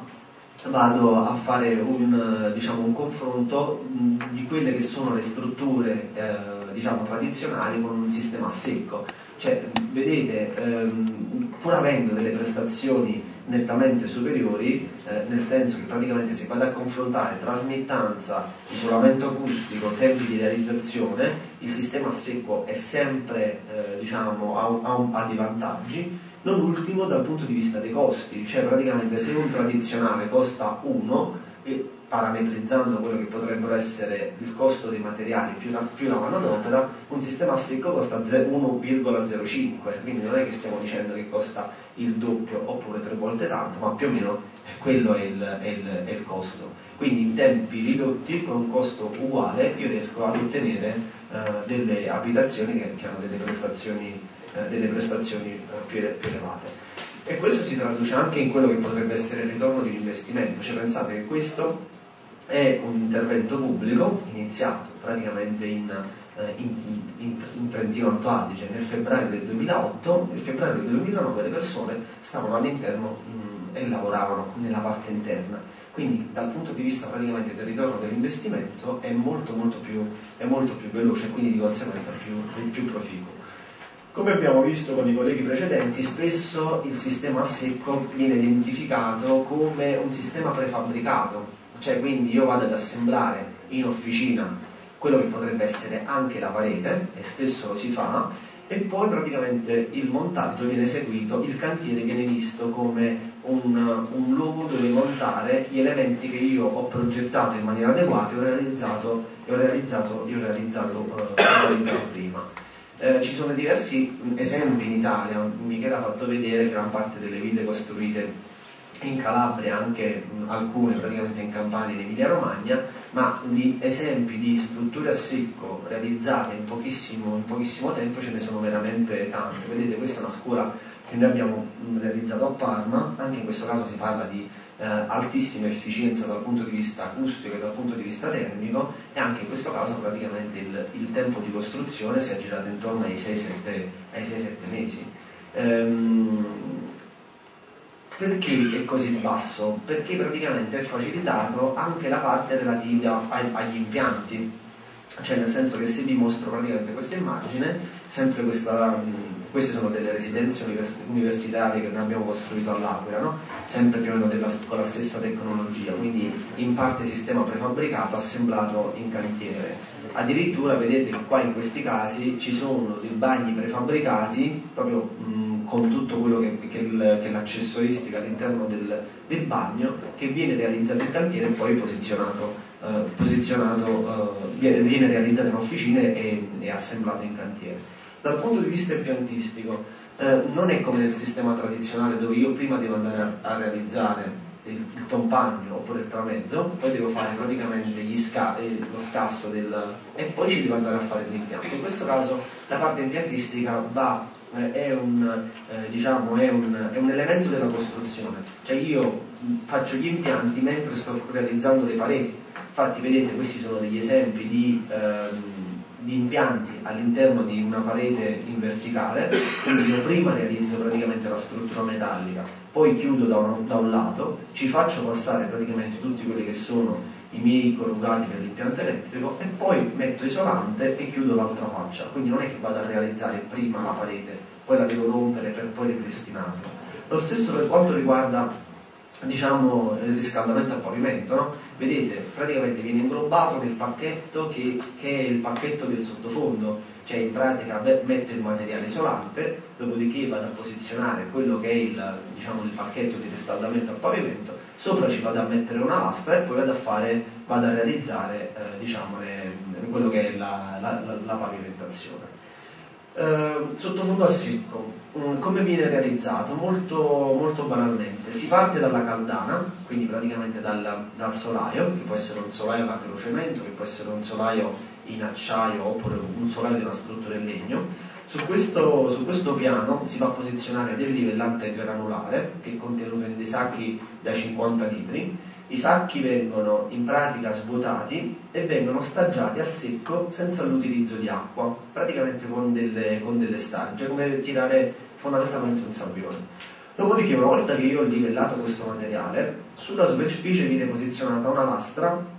che è di dimensione un metro e mezzo per mezzo metro. Le, las- le lastre vengono incollate tra di loro con un poliuretano e poi vengono avvitate. Nel momento in cui io ho incollato ed avvitato le lastre, ho finito il sottofondo. Quindi praticamente ho questa superficie che può essere piastrellata oppure posso andare a posizionare il, il parquet. Cioè non c'è bisogno di aspettare uh, alcunché, cioè non deve asciugare praticamente niente. I vantaggi quali sono? Ovviamente vi ripeto sulla rapidità, ma anche che non ci sarà mai presenza di umidità di risalita. Cioè pensate nell'applicazione di un parquet spesso si hanno dei dubbi quando devo andare a posizionarlo dopo aver fatto il, il massetto, perché ci potrebbe essere praticamente dell'acqua che risale. In questo caso, non, non essendoci acqua, eh, ovviamente non, non, avrò mai questo tipo di, di eh, problematica. L'altro vantaggio è che ehm, essendo un sistema costituito fondamentalmente da un livellante granulare e una lastra che ha il taglio di fabbrica, quindi fondamentalmente come dimensione perfetta,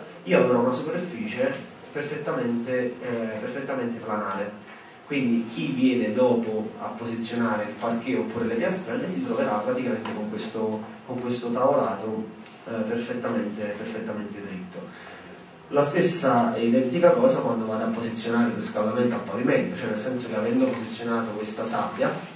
dopo metto quello che è diciamo, l'EPS dove all'interno vengono contenute tutti questi tubicini e poi sopra semplicemente ci vado a posizionare la lastra. Notate sia che in questo caso come diciamo praticamente nell'applicazione precedente addirittura si vanno a curare tutti quelli che sono i particolari eh, sia per quanto riguarda l'acustica che per quanto riguarda la termica cioè nel senso in questo caso io sto andando a posizionare un elemento eh, che può essere realizzato, che è una striscetta in LPS oppure può essere realizzato in materiale fibroso, che mi va ad isolare acusticamente i due elementi. Quindi ho un, una sorta di taglio acustico e di taglio acustico e di taglio termico tra, la, tra praticamente i due elementi eh, contigui. Um, ci sono degli esempi anche realizzati nelle nostre zone Pensate, praticamente è una struttura eh, diciamo, tradizionale di 5 piani, praticamente uno scheletro di, diciamo, praticamente di travi e pilastri. In questo caso il committente aveva, eh, ha deciso di chiuderlo completamente a secco. Allora in questo caso cosa abbiamo fatto? Vabbè, oltre a proteggere eh, tutti gli elementi strutturali, a, per, per, evitare la creazione del ponte termico con dei materiali plastici, abbiamo realizzato delle strutture eh, in acciaio, quindi praticamente dei profili in acciaio, dove all'interno ci sono degli isolanti e poi ci sono tre strati eh, costituiti da lastre. All'esterno una lastra di cemento, è quella che vi ho mostrato, sulla quale poi viene fatta semplicemente una rasatura, eh, una rasatura armata. Nella parte diciamo praticamente intermedia viene posizionata una lastra con la barriera a vapore, una lastra di gesso fibra con la barriera a vapore e nella parte diciamo, dell'abitazione interna viene posizionata una lastra in, in gesso fibra. Anche in questo caso praticamente si parla di prestazioni elevatissime perché abbiamo uno, um, delle trasmittanze intorno ai 0,015, una cosa del genere, con uno sfasamento che andava oltre le, le, 9, ore, le 9 ore, e mezza, con dei tempi di, diciamo, praticamente di realizzazione del fabbricato bassissimi. Questo è un altro intervento che è stato eseguito, che è stato eseguito a Lecce, l'Università del Salento, eh, in questo caso diciamo, il, nostro, il, nostro, apporto eh, è arrivato per mh, correggere una struttura che è fondamentalmente una struttura nuova ma che non rispettava i limiti di legge per quanto riguarda eh, la, la, parte sia termica che, che, acustica. In pratica questa una stru- è una struttura, è stata realizzata una struttura con dei blocchi eh, in laterizio, però poi si sono accorti che essere che, che siccome una struttura pubblica non bastava. Allora che cosa hanno pensato di fare? Hanno pensato eh, di applicare un isolante all'esterno, in questo caso, anche in questo caso con l'ara di roccia e poi praticamente creare una parete, una parete ventilata. Noi siamo intervenuti nell'applicazione esclusivamente della lastra uh, per esterni, che è una lastra, come vi dicevo, una lastra in cemento, ehm, che è costituita mh, da una matrice di cemento e, ehm, che è alleggerita con delle reti in fibra di vetro. Come, come, vengono applicate queste lastre in cemento? Banalmente si va a posizionare la sottostruttura, in genere il passo della sottostruttura è di 40 cm oppure 60 cm a seconda diciamo praticamente della pressione del vento e poi praticamente a questa sottostruttura viene abilitata eh, la lastra. C'è tutto un sistema di impermeabilizzazione delle lastre, nel senso che praticamente una volta posizionate le lastre nella parte centrale si va a posizionare una retina in fibra di vetro e questa retina viene poi sigillata con una guaina liquida. Fatto questo, una volta che praticamente ho sigillato tutti i giunti, va fatta la rasatura armata. Sopra la rasatura armata semplicemente o si passa un tonachino o si va a pitturare con delle pitture eh, silossamiche. Quindi un intervento, mh, un intervento veloce eh, per migliorare quella che era la prestazione termica del, eh, diciamo, dell'edificio. Uh, stiamo gestendo qualche cantiere abbastanza grossa anche qua in zona, questo è a Fratte, uh, cioè praticamente in provincia di Salerno, praticamente si vede questo cantiere, si vede anche dal, diciamo, dalla, dall'autostrada. Uh, questo è un intervento abbastanza mh, prestigioso perché l'architetto diciamo, che ha progettato il tutto eh, è Fuxas, sono all'incirca 90 appartamenti e in questo caso all'interno è stato utilizzato tutto il gesso fibra, cioè praticamente tutti i divisori tra, diver- tra le diverse unità abitative, nonché praticamente tutti i divisori all'interno della stessa unità abitativa sono realizzati con, con, con gesso fibra, anche ovviamente il toppagno esterno è stato progettato uh, utilizzando una controparete nella parte interna del gesso fibra per migliorare sia la prestazione acustica che la prestazione, che la prestazione dal punto di vista, punto di vista termico. Um, poi ovviamente si, si, fanno anche degli interventi molto piccoli, abbastanza, abbastanza, complessi di riqualificazione energetica. Qua in pratica si, era una masseria uh, a Lecce, dal punto di vista termico era difficile trovare una soluzione perché in pratica eh, il, il, il, le, le, murature perimetrali eh, diciamo praticamente non riuscivano a, a dare delle prestazioni eh, adeguate. Allora in questo caso eh, con l'architetto si è studiato tutto un sistema costituito da, da, da pannelli termoriflettenti ehm, per isolare questa muratura e poi sui quali è stata applicata una controparete in, in gesso. Su questo ovviamente non mi dilungo perché gran parte dei, miei, dei, dei, dei colleghi, che parlato, colleghi che hanno parlato prima di me hanno detto più o meno quasi tutto, ma è evidente che in questo caso il sistema a secco è fondamentale, cioè nel senso che io costruisco una struttura, una struttura eh, leggera, altamente prestazionale dal punto di vista diciamo, sismico, che posso rendere altrettanto prestazionale acusticamente e termicamente scegliendo la, la, la giusta combinazione di lastre e, quindi, e di isolanti. Eh, spesso eh, quello che viene fatto in questo caso è rivestire all'esterno con una lastra in cemento che poi viene rasata oppure in alternativa fare una parete ventilata poi posizionare in, in, in maniera intermedia una lastra con la barriera a vapore e nella parte interna invece posizionare una lastra fatta con una lastra in gesso fibra normale Pensate, un'applicazione di questo tipo, semplicemente in 27 cm, riesce a dare delle prestazioni che sono delle prestazioni veramente, veramente notevoli. Mi ripeto, 0,16 per quanto riguarda la trasmittanza, con delle, con delle trasmittanze termiche periodiche intorno a 0,05. Mm, io ho finito con la presentazione, se ci sono delle, delle domande oppure dei, dei dubbi.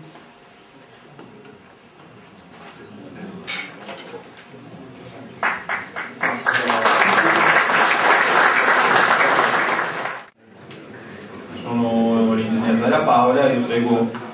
livello di servizio tecnico commerciale l'area centro-sud per quanto riguarda appunto Armec. Penso che un po' tutti conosciate Armec, è un'azienda produttrice sostanzialmente di prodotti per il condizionamento a partire dai venticonvettori alle pompe di calore da piccola potenza fino a grande potenza e tra i prodotti a catalogo ci sono anche i sistemi di ventilazione meccanica controllata di cui vi parlerò oggi e ehm, anche sistemi di espansione diretta sostanzialmente. La ventilazione meccanica controllata è ormai di fondamentale importanza, soprattutto se si vuole avere un controllo della qualità dell'aria interna, ma anche perché sostanzialmente permette eh, un notevole risparmio energetico. Se voi volete costruire un edificio in classe A o progettare un edificio in classe A più, ormai è fondamentale avere anche un buon sistema di ventilazione meccanica controllata ad altissima efficienza. Tipi di ventilazione fondamentalmente sono due, abbiamo la ventilazione naturale e appunto la ventilazione meccanica controllata. La ventilazione naturale è quella che deriva dai trasferimenti di serramenti dalle apposite aperture che posso prevedere sulle murature, dai cabinetti, eccetera, sostanzialmente. L'azione meccanica controllata invece può essere semplicemente, eh, sostanzialmente di due tipi, a semplice flusso e a doppio flusso. Vediamo le differenze tra semplice flusso e doppio flusso sostanzialmente. Nell'immagine in alto a destra vedete un sistema semplice flusso in cui vi è un ventilatore di estrazione sostanzialmente che tramite una rete di distribuzione, quindi dei canali, va ad estrarre l'aria all'interno dei vari ambienti.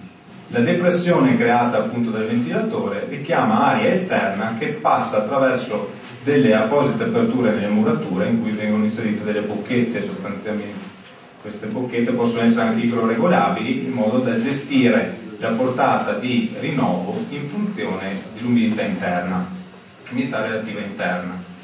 I sistemi a doppio flusso invece sono quelli più interessanti e anche quelli su cui noi ci concentriamo maggiormente, infatti d'ora in poi quando parlerò di ventilazione meccanica controllata intenderò sempre questi sistemi perché sono quelli più efficienti e anche che permettono un miglior controllo del ricambio orario, sono sostanzialmente formati da un gruppo di recupero composto da due ventilatori un ventilatore di estrazione e un ventilatore di emissione, quindi io posso controllare sia la portata di emissione che la portata di estrazione, far passare quest'aria, l'aria interna del mio ambiente attraverso il recuperatore. Il recuperatore mi permette appunto di recuperare gran parte del calore che altrimenti andrebbe disperso verso l'esterno, incrementando così l'efficienza di questa tecnica di ventilazione. Che cos'è la VMC? Chiaramente, come voi, è una, una definizione molto semplice, però ci permette di capire di cosa stiamo parlando. È un sistema mediante il quale viene garantito un continuo e controllato ricambio dell'aria all'interno di ogni singolo ambiente chiuso. La VMC, sostanzialmente, la ventilazione meccanica controllata, permette sostanzialmente di eh, adempiere a due importanti funzioni, mantenere la qualità dell'aria interna elevata e, e quindi ridurre l'inquinamento indoor ridurre l'umidità interna invernale all'interno dei locali e fare queste due funzioni sostanzialmente con il massimo risparmio energetico. Vediamo intanto il primo punto, ossia quello relativo alla qualità dell'aria. Sostanzialmente è comune pensare che l'ambiente interno sia più eh, pulito, abbia meno inquinanti di quelli, quello esterno. In realtà è proprio l'opposto perché non esiste una barriera cioè la casa non è totalmente ermetica, quando io apro le finestre o i serramenti, chiaramente gli inquinanti esterni entrano all'interno dell'ambiente. A questi si sommano gli inquinanti interni, cioè il fatto che vi sono le persone che respirano, il fatto che ci sono cucine, che ci sono bagni, insomma gli inquinanti interni si sommano a quelli esterni. Quindi se io non prevedo un buon sistema di ricambio dell'aria, all'interno del mio ambiente mi trovo l'aria esterna inquinata più gli inquinanti interni e questi inquinanti possono essere di tre nature, chimica, biologica e fisica. Se inoltre pensiamo, come avevano anche detto i miei colleghi insomma, prima di me, eh, chiaramente l'utilizzo di nuovi materiali tecnologici, sempre via via più ehm, elevati tecnologicamente per eh, creare forti isolamenti, però tendono a rendere l'abitazione un po' stagna, la casa più fatica a respirare, proprio perché voglio eliminare quegli spifferi e quelle componenti di ventilazione naturale che ci sono nel, nell'edificio. Proprio per questo è necessario prevedere un sistema di ventilazione meccanica, quindi anche controllata, che mi permette di mantenere elevata la qualità dell'ambiente. Qua qualcuno si è anche messo a calcolare praticamente quante volte bisogna aprire la finestra per avere la qualità dell'aria, qui dicono 5 minuti ogni due ore, 24 ore al giorno, voi vedete che questo non è applicabile, anche perché non posso mettere una persona che apre la finestra ogni 5 minuti, sono ogni due ore, insomma. Ma anche perché questa tecnica chiaramente è molto energivora, chiaramente se io apro la finestra entra aria calda o fredda a seconda della stagione e questo poi va a gravare sull'impianto di condizionamento che deve poi riportare l'ambiente in temperatura, quindi non è una soluzione valida sostanzialmente. Qui di seguito abbiamo alcuni degli inquinanti che noi non pensiamo ma respiriamo anche tuttora e tutti i giorni sostanzialmente. Abbiamo il benzene, monossido di carbonio, formaldeide, biossido di azoto, sia gli NOx, gli NOx insomma tutti i prodotti che derivano dallo smog e dal traffico sostanzialmente, a cui si sommano, qua non è presente la CO2 chiaramente che è prodotta dalla respirazione, il radon che è un gas radioattivo che proviene appunto dai materiali di costruzione, poi abbiamo vabbè, etilene e tetrafluoroetilene, insomma sono un po' più rari. Oltre a questi tipi di inquinanti chimici abbiamo anche quelli biologici che possono provocare sintomi respiratori anche gravi, su 100 persone che vivono continuamente, continuativamente un ambiente malsano, 52 di essi sviluppano sintomi legati al tratto respiratorio superiore, e 50 tosse, 44 ralcedine e anche 30 di questi possono sviluppare l'asma, insomma, quindi è una cosa molto delicata che deve anche essere prevista, non solo per far non solo perché permette di innalzare la classe energetica, ma proprio perché permette di migliorare il comfort abitativo e anche stile di vita delle persone. Un altro problema è che accennava prima l'architetto sostanzialmente è la formazione di muffe negli ambienti.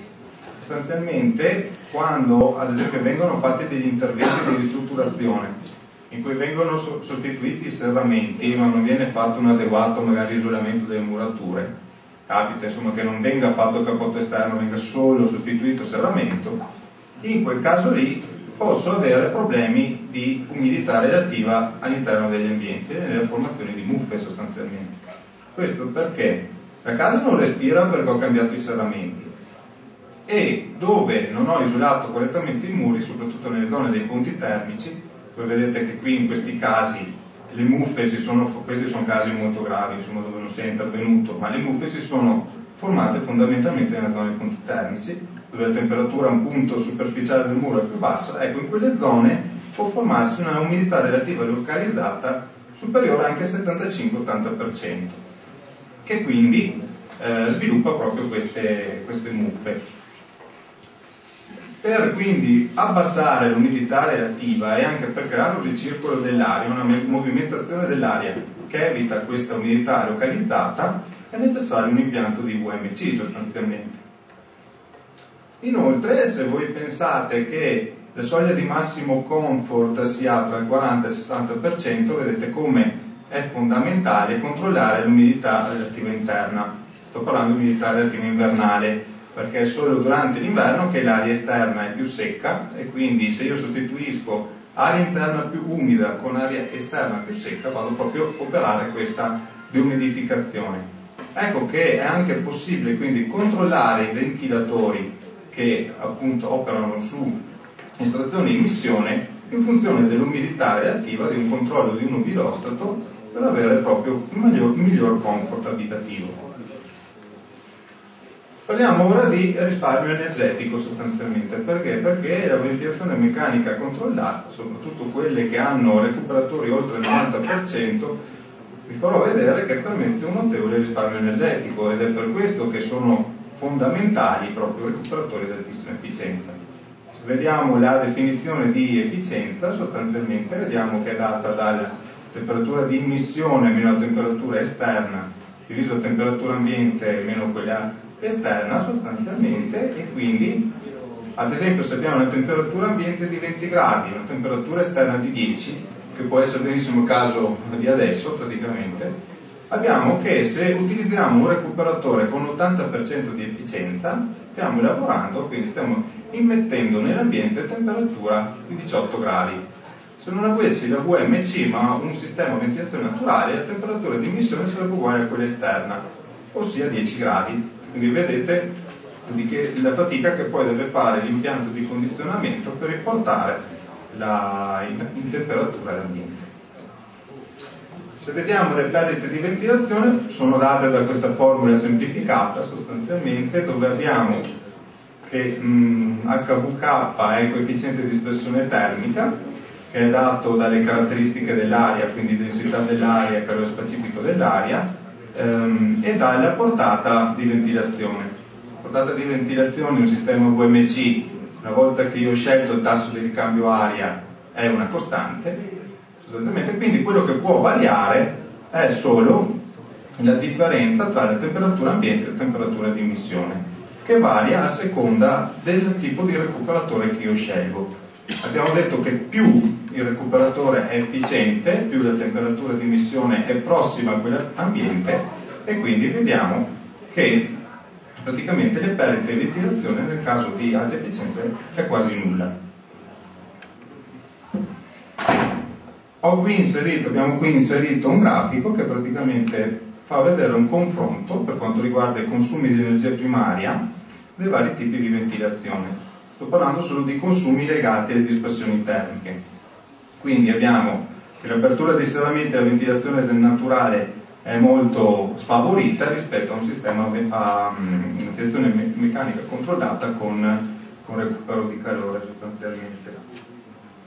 Eh, vi dicevo prima che non è presente quindi un, um, qui è solo il contributo legato alla, alle efficienze termiche, sostanzialmente non vi sono i contributi elettrici. Voi potreste dire sì, ma un sistema di ventilazione meccanica controllata utilizza due ventilatori che sono in funzione tutto l'arco dell'anno. Chiaramente questo incide sui consumi interni di energia primaria però nonostante questo vediamo quanto siano ininfluenti rispetto al vantaggio che dà dal punto di vista termico. Abbiamo quindi fatto una rapida analisi insomma, per vedere praticamente quanto sono i consumi elettrici un anno di un recuperatore ad esempio ad alta efficienza. Abbiamo come data di partenza una superficie di 100 metri quadri, quindi un volume dell'edificio di 300 metri cubi un tasso di ricambio di 0,5 volumi ora e quindi una portata di ventilazione fissata a 150 m3 ora. Dati dal recuperatore ad alta efficienza per quindi lavorare con questa portata di ventilazione uguale a 20 watt. Adesso vedete 20 watt, stiamo parlando di recuperatori di ultima generazione, sono bassissimi, insomma è come una lampadina sempre accesa, e che equivale a una potenza assorbita in metri quadri 0,2 watt al metro quadro se andiamo a fare un calcolo del consumo elettrico annuale continuativo 24 ore per 365 giorni all'anno, vediamo sostanzialmente che è pari a 3,5 kWh elettrici al metro quadro, che scusate, eh, alta efficienza 1,75 kWh elettrici, il che equivale a circa 42 euro all'anno. Consumi invece in, in termini di energia primaria, eh, utilizzando il coefficiente di conversione ottenuto dal rendimento medio nazionale della produzione di energia elettrica, si ottiene che è pari a 4,3 kWh in energia primaria al metro quadro. Ecco, tenete bene, questi, eh, bene in mente questi valori perché tra un po' li ritroveremo sostanzialmente. Um, abbiamo fatto anche un caso con un recuperatore a media efficienza, quindi non di ultima generazione, tecnologia vecchia, insomma recuperatore che più o meno ha efficienze di recupero del 50% e avendo anche ventilatori meno performanti, il consumo di energia primaria è pari a 8,5 kWh al metro quadro. Abbiamo preso come caso Torino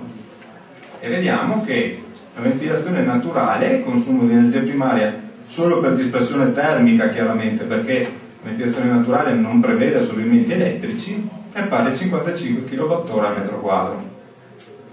Un recuperatore di media efficienza invece ha di dispersione termica, dato che ha un recupero del 50% circa 14 kWh al metro quadro termici, più 8,5 che era il contributo elettrico che avevamo visto prima. La somma quindi dà 22,5 kWh al metro quadro. Se voi andate già a vedere il caso ventilazione naturale contro recuperatore media efficienza, vedete come è già più vantaggiosa questa soluzione.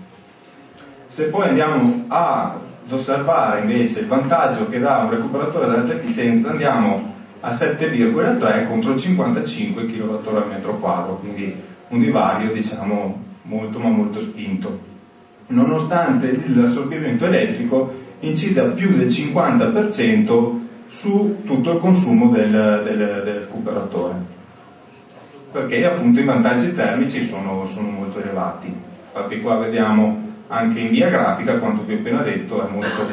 molto evidente insomma. La stessa cosa l'abbiamo ripetuta per Bari, che è un caso in cui le condizioni climatiche diciamo così, fanno sì che le perdite siano, legate alla ventilazione siano più basse perché il clima è più favorevole sostanzialmente. Però vediamo che anche in questo caso la, il vantaggio è molto, è molto significativo. Adesso ho concluso con questa introduzione, sostanzialmente volevo accennarvi, quindi parlarvi di quella che è la soluzione ARMEC alla ventilazione meccanica controllata residenziale.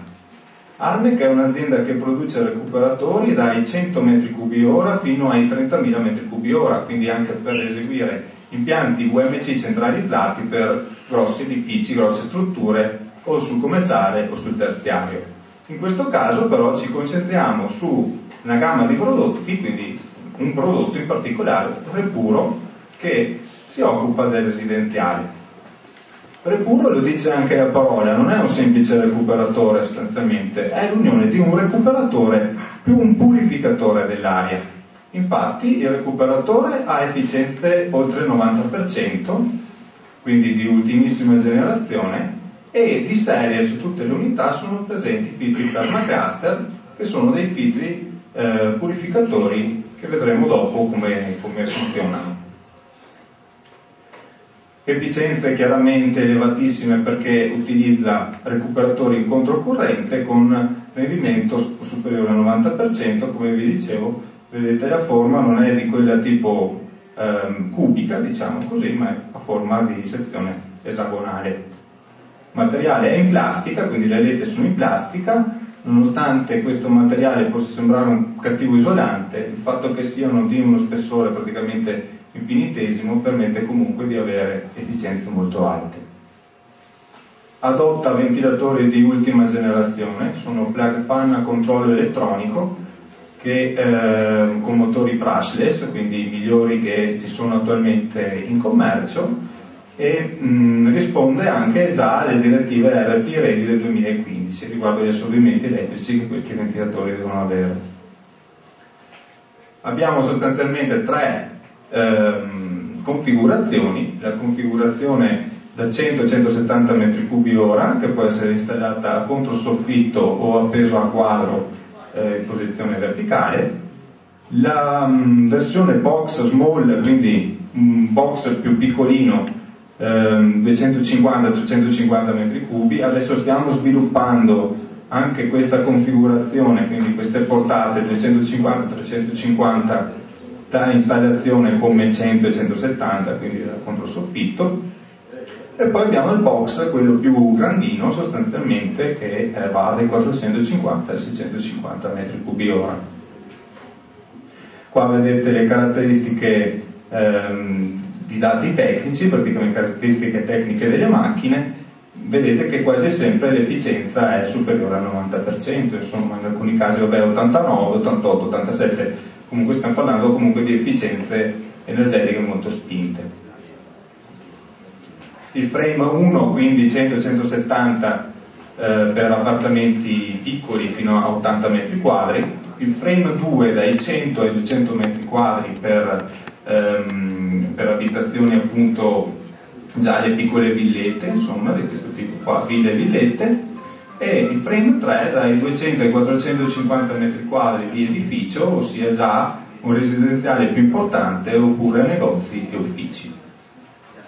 Qui vedete i dati di assorbimento della macchina sostanzialmente alla, ehm, alla velocità massima. Ecco, fate caso che la macchina difficilmente viene dimensionata per lavorare al massimo numero di giri, chiaramente ci si tiene sempre un certo margine e quindi gli assorbimenti solitamente sono un terzo di quelli che, vengono, eh, che si vedono in questa, in questa tabella. Vi elenco alcune delle principali caratteristiche, elevata efficienza ormai l'abbiamo detto, campo di funzionamento esteso sì perché grazie ai ventilatori a controllo elettronico io posso scegliere fino a 20 step di velocità, disponibili diverse configurazioni, le abbiamo visto, filtro plasma cluster di serie su tutte le versioni, adesso vedremo di cosa stiamo parlando, regolazione integrata, la macchina è già dotata di sistema di regolazione, pannellino e anche tutto il sistema di gestione degli accessori, di cui parleremo dopo, progettazione ecocompatibile ventilatori, vabbè, eh, chiaramente sono ad alto risparmio energetico, possibilità di filtro G4 che è di serie mandata e in ripresa G2, il filtro in mandata G4 può essere anche sostituito con un filtro F7 per incrementare la capacità filtrante dell'aria della macchina. Interfaccia ecosistema VMF che è un sistema praticamente che va a gestire tutti i prodotti ARMEC diciamo per il residenziale, gestisce venticonvettori, pompe di calore sempre ARMEC, gestisce recuperatori, produzione di acqua calda sanitaria con la pompa di calore, gestisce caldaie integrative solare, impianti a pavimento, quindi è un sistema che è molto interessante che semmai vi invito ad andare a vedere sul nostro sito internet. Abbiamo motore di controllo elettronico abbiamo detto. Ha questa funzione molto importante che è il bypass per il free motorizzato. Quindi è un bypass automatico che la macchina riesce a gestire eh, da sola praticamente è importante soprattutto per quelle condizioni estive ad esempio in cui la casa si è riscaldata durante il giorno, io lo voglio rinfrescare la sera, quando la temperatura si è abbassata, invece di aprire la finestra utilizzo il free cooling è chiaramente più comodo aprire la finestra, però faccia entrare così i famosi inquinanti. Ricordiamo che il refuro è un purificatore anche, quindi se io tengo le finestre chiuse, cosa che comunque è un po' difficile, insomma, perché siamo abituati tutti ad aprirle sostanzialmente, posso comunque rinfrescare la casa, però mantenendo elevate qualità eh, dell'aria e quindi elevate qualità di filtrazione. Abbiamo anche una versione R con resistenza elettrica di preriscaldamento per eh, estendere i limiti anche a meno 15, quindi eliminare quelli che sono le formazioni di brina sul pacco di recupero sostanzialmente, solo per i climi più rigidi. Questo. Oh, il plasma cluster, come vi dicevo prima, è un filtro, è un filtro ionizzatore. Tante volte questo filtro ci viene confuso con un filtro elettrostatico. In realtà non è un filtro elettrostatico, non c'entra nulla con i normali filtri elettrostatici che trovate magari su altri dispositivi. È un filtro ionizzatore, in sostanza cosa fa? Va a distruggere direttamente virus, batteri e altre impurità che sono presenti nell'aria. Come fa? Sostanzialmente eh, vi è ehm, l'umidità no, presente eh, nell'aria passa attraverso questo filtro, viene ionizzata, ossia viene separata ioni H e O2-. Questi ioni OH e 2- vanno a formare dei grappoli di acqua, le molecole d'acqua, e va a formare quindi quelli che sono detti cluster. Questi cluster, quando individuano un'impurità o un virus, si ehm, ricompattano andando a formare ioni ossidrili o H-. Questi ioni essedrili o H- aderiscono alla superficie del virus o dell'impurità ed essendo avidi di idrogeno sottraggono l'idrogeno al virus riformando l'acqua e distruggendo quindi ehm, l'agente patogeno. Qua vedete infatti l'azione prima del plasma cluster col virus attivo e l'azione successiva come virus distrutto praticamente da, dal filtro. Questa è l'interfaccia del repuro ha vinto anche un premio nel 2010, insomma c'è chi piace e chi no, eh, come Good Design, e praticamente permette di controllare la macchina, velocità di ventilazione, la temperatura di soglia per attivare il cooling, l'accensione lo spegnimento degli accessori. Con un unico pannellino possiamo controllare fino a 6 macchine distintamente. Ecco qua gli accessori della macchina, ci sono i piedini antivibranti per isolare eventuali vibrazioni come vi dicevo prima la possibilità di avere filtri F7 quindi maggior qualità di filtrazione maggior qualità dell'aria interna una sonda di temperatura che praticamente può essere remotata quindi è una temperatura aggiuntiva una sonda di temperatura aggiuntiva che nonostante la macchina sia già fornita di sonda all'interno posso utilizzare questa perché è più precisa chiaramente un altro degli accessori importanti, molto importanti, sono i plenum. I plenum di distribuzione dell'aria, di trattamento di distribuzione, perché? Perché al suo interno, all'interno dei plenum, posso inserire degli accessori di post trattamento sostanzialmente. E, il, ehm, e, gli accessori che posso inserire sono resistenza elettrica, lampada germicida e uno scambiatore aria-acqua, quindi uno scambiatore, una batteria letata alimentata d'acqua. Resistenza elettrica, così come la batteria, eh, quando funziona a caldo, permette di post riscaldare l'aria per far sì che l'area di emissione sia alle condizioni dell'ambiente o anche più elevate. Questo perché capita che passando vicino a una bocchetta, soprattutto di emissione, magari quelle basse o nelle griglie posizionate dove l'aria investe le persone, possa dare fastidio, anche se a temperatura prossima a quell'ambiente ma leggermente inferiore può dare fastidio. E allora con questo accessorio io riscaldo l'aria e non ho problemi di questo tipo. La lampada germicida unita all'effetto plasma cluster va ad avere un'efficacia, sulla, un'efficacia sull'abbattimento microbiologico del 100% sostanzialmente, quindi è molto utile per gli ambienti ospedalieri o per gli ambulatori, studi dentistici o anche in uh, locali, quindi abitazioni in cui eh, vi sono persone malate che devono avere la massima qualità dell'aria. Questa è una ripetizione, vi dicevo che con la versione R sostanzialmente è possibile eh, estendere i limiti a meno 15, mentre i limiti di temperatura esterna massima sono di più 50 per quanto riguarda questo tipo di macchina. Adesso volevo un attimo farvi vedere che cos'è Magellano. Magellano è un eh, software che mh, mm, avete anche voi nelle vostre cartelline, potete se no scaricarlo gratuitamente dal nostro sito. Ed è un importante software perché permette intanto di consultare tutta la documentazione di tutti i nostri prodotti, ehm, proprio tutti, quindi c'è sia le schede del prodotto che manuale tecnico, che manuale di installazione, che gli schemi elettrici, qualunque cosa vi serva su un nostro prodotto voi lo trovate all'interno di questo software che si può aggiornare, quindi vi invito magari a aggiornarlo se installate, aggiornarlo frequentemente, perché è in continuo aggiornamento e modifiche continue. E cosa fa questo software? Oltre ad avere tutti i manuali, permette di verificare il funzionamento di tutti i nostri prodotti al variare delle condizioni di funzionamento stesse, ossia variare delle temperature con cui, ad esempio, eh, pompa di calore funziona o eh, fan coil venticolettore funziona o stesso recuperatore funziona. Infatti nel nostro caso che stiamo parlando di aria puro permette di andare a simulare quello che è il funzionamento delle macch- della macchina alle varie condizioni. Abbiamo quindi ipotizzato di dover trovare un repuro che si adatti a queste condizioni, ossia 100, eh, una prevalenza di ehm, sì, qua dovrebbero essere, vabbè, forse è sbagliata la slide, sono 100 metri cubi comunque per 80 pascal. E infatti vediamo che se noi inseriamo i dati all'interno, della, mm,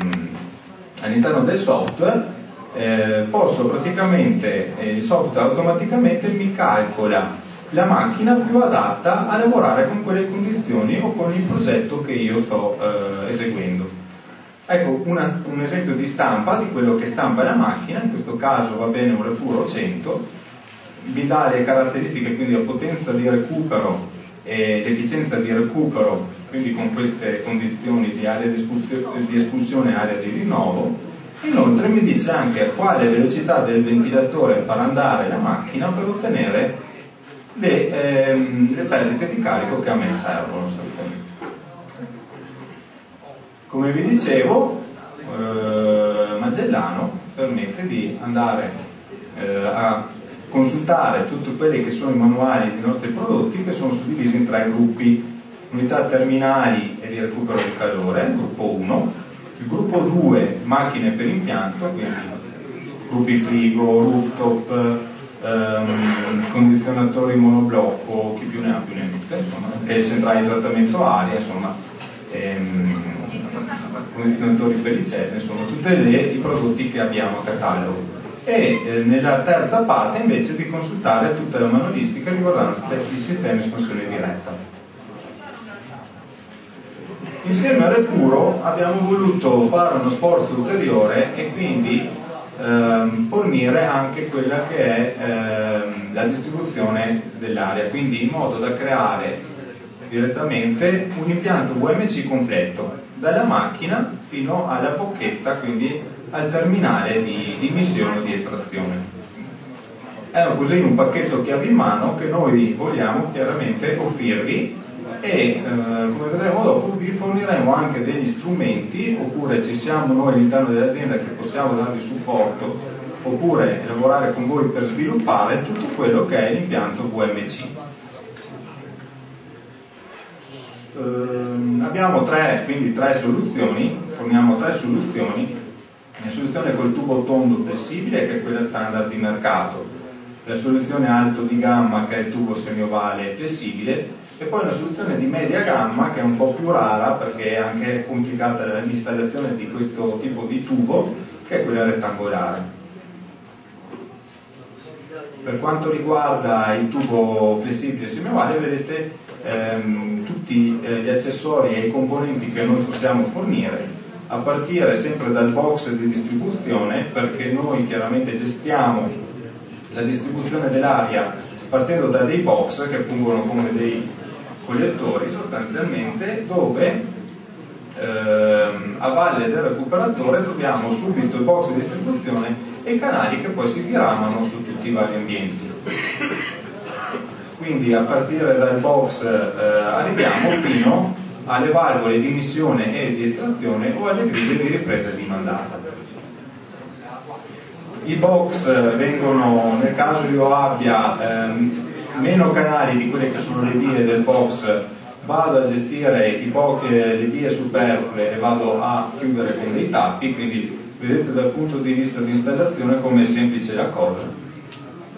Abbiamo anche ehm, degli anelli di tenuta che sono, si installano a clic, quindi sono molto facili e permettono al canale di aderire perfettamente al box di distribuzione. Poniamo anche delle stappe di montaggio in modo che proprio in pochi minuti è possibile fissare canale al soffitto, al muro o a pavimento.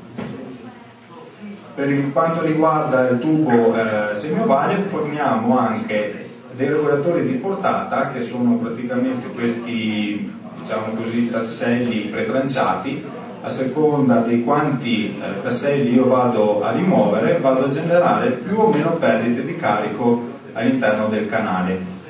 in questo modo io posso regolare di fino la portata su ogni canale e quindi su ogni locale.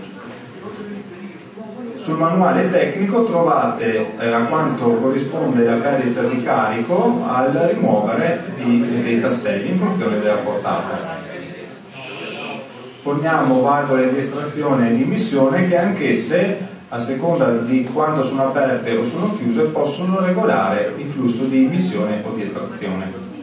abbiamo le griglie di emissione piana e adesso abbiamo anche, qui non sono rappresentate, le griglie lettate con alette mobili o alette fisse. La stessa cosa vale per il tubo circolare, quindi non mi soffermo più di tanto, tanto viene gestito allo stesso modo dell'altro tipo di tubo.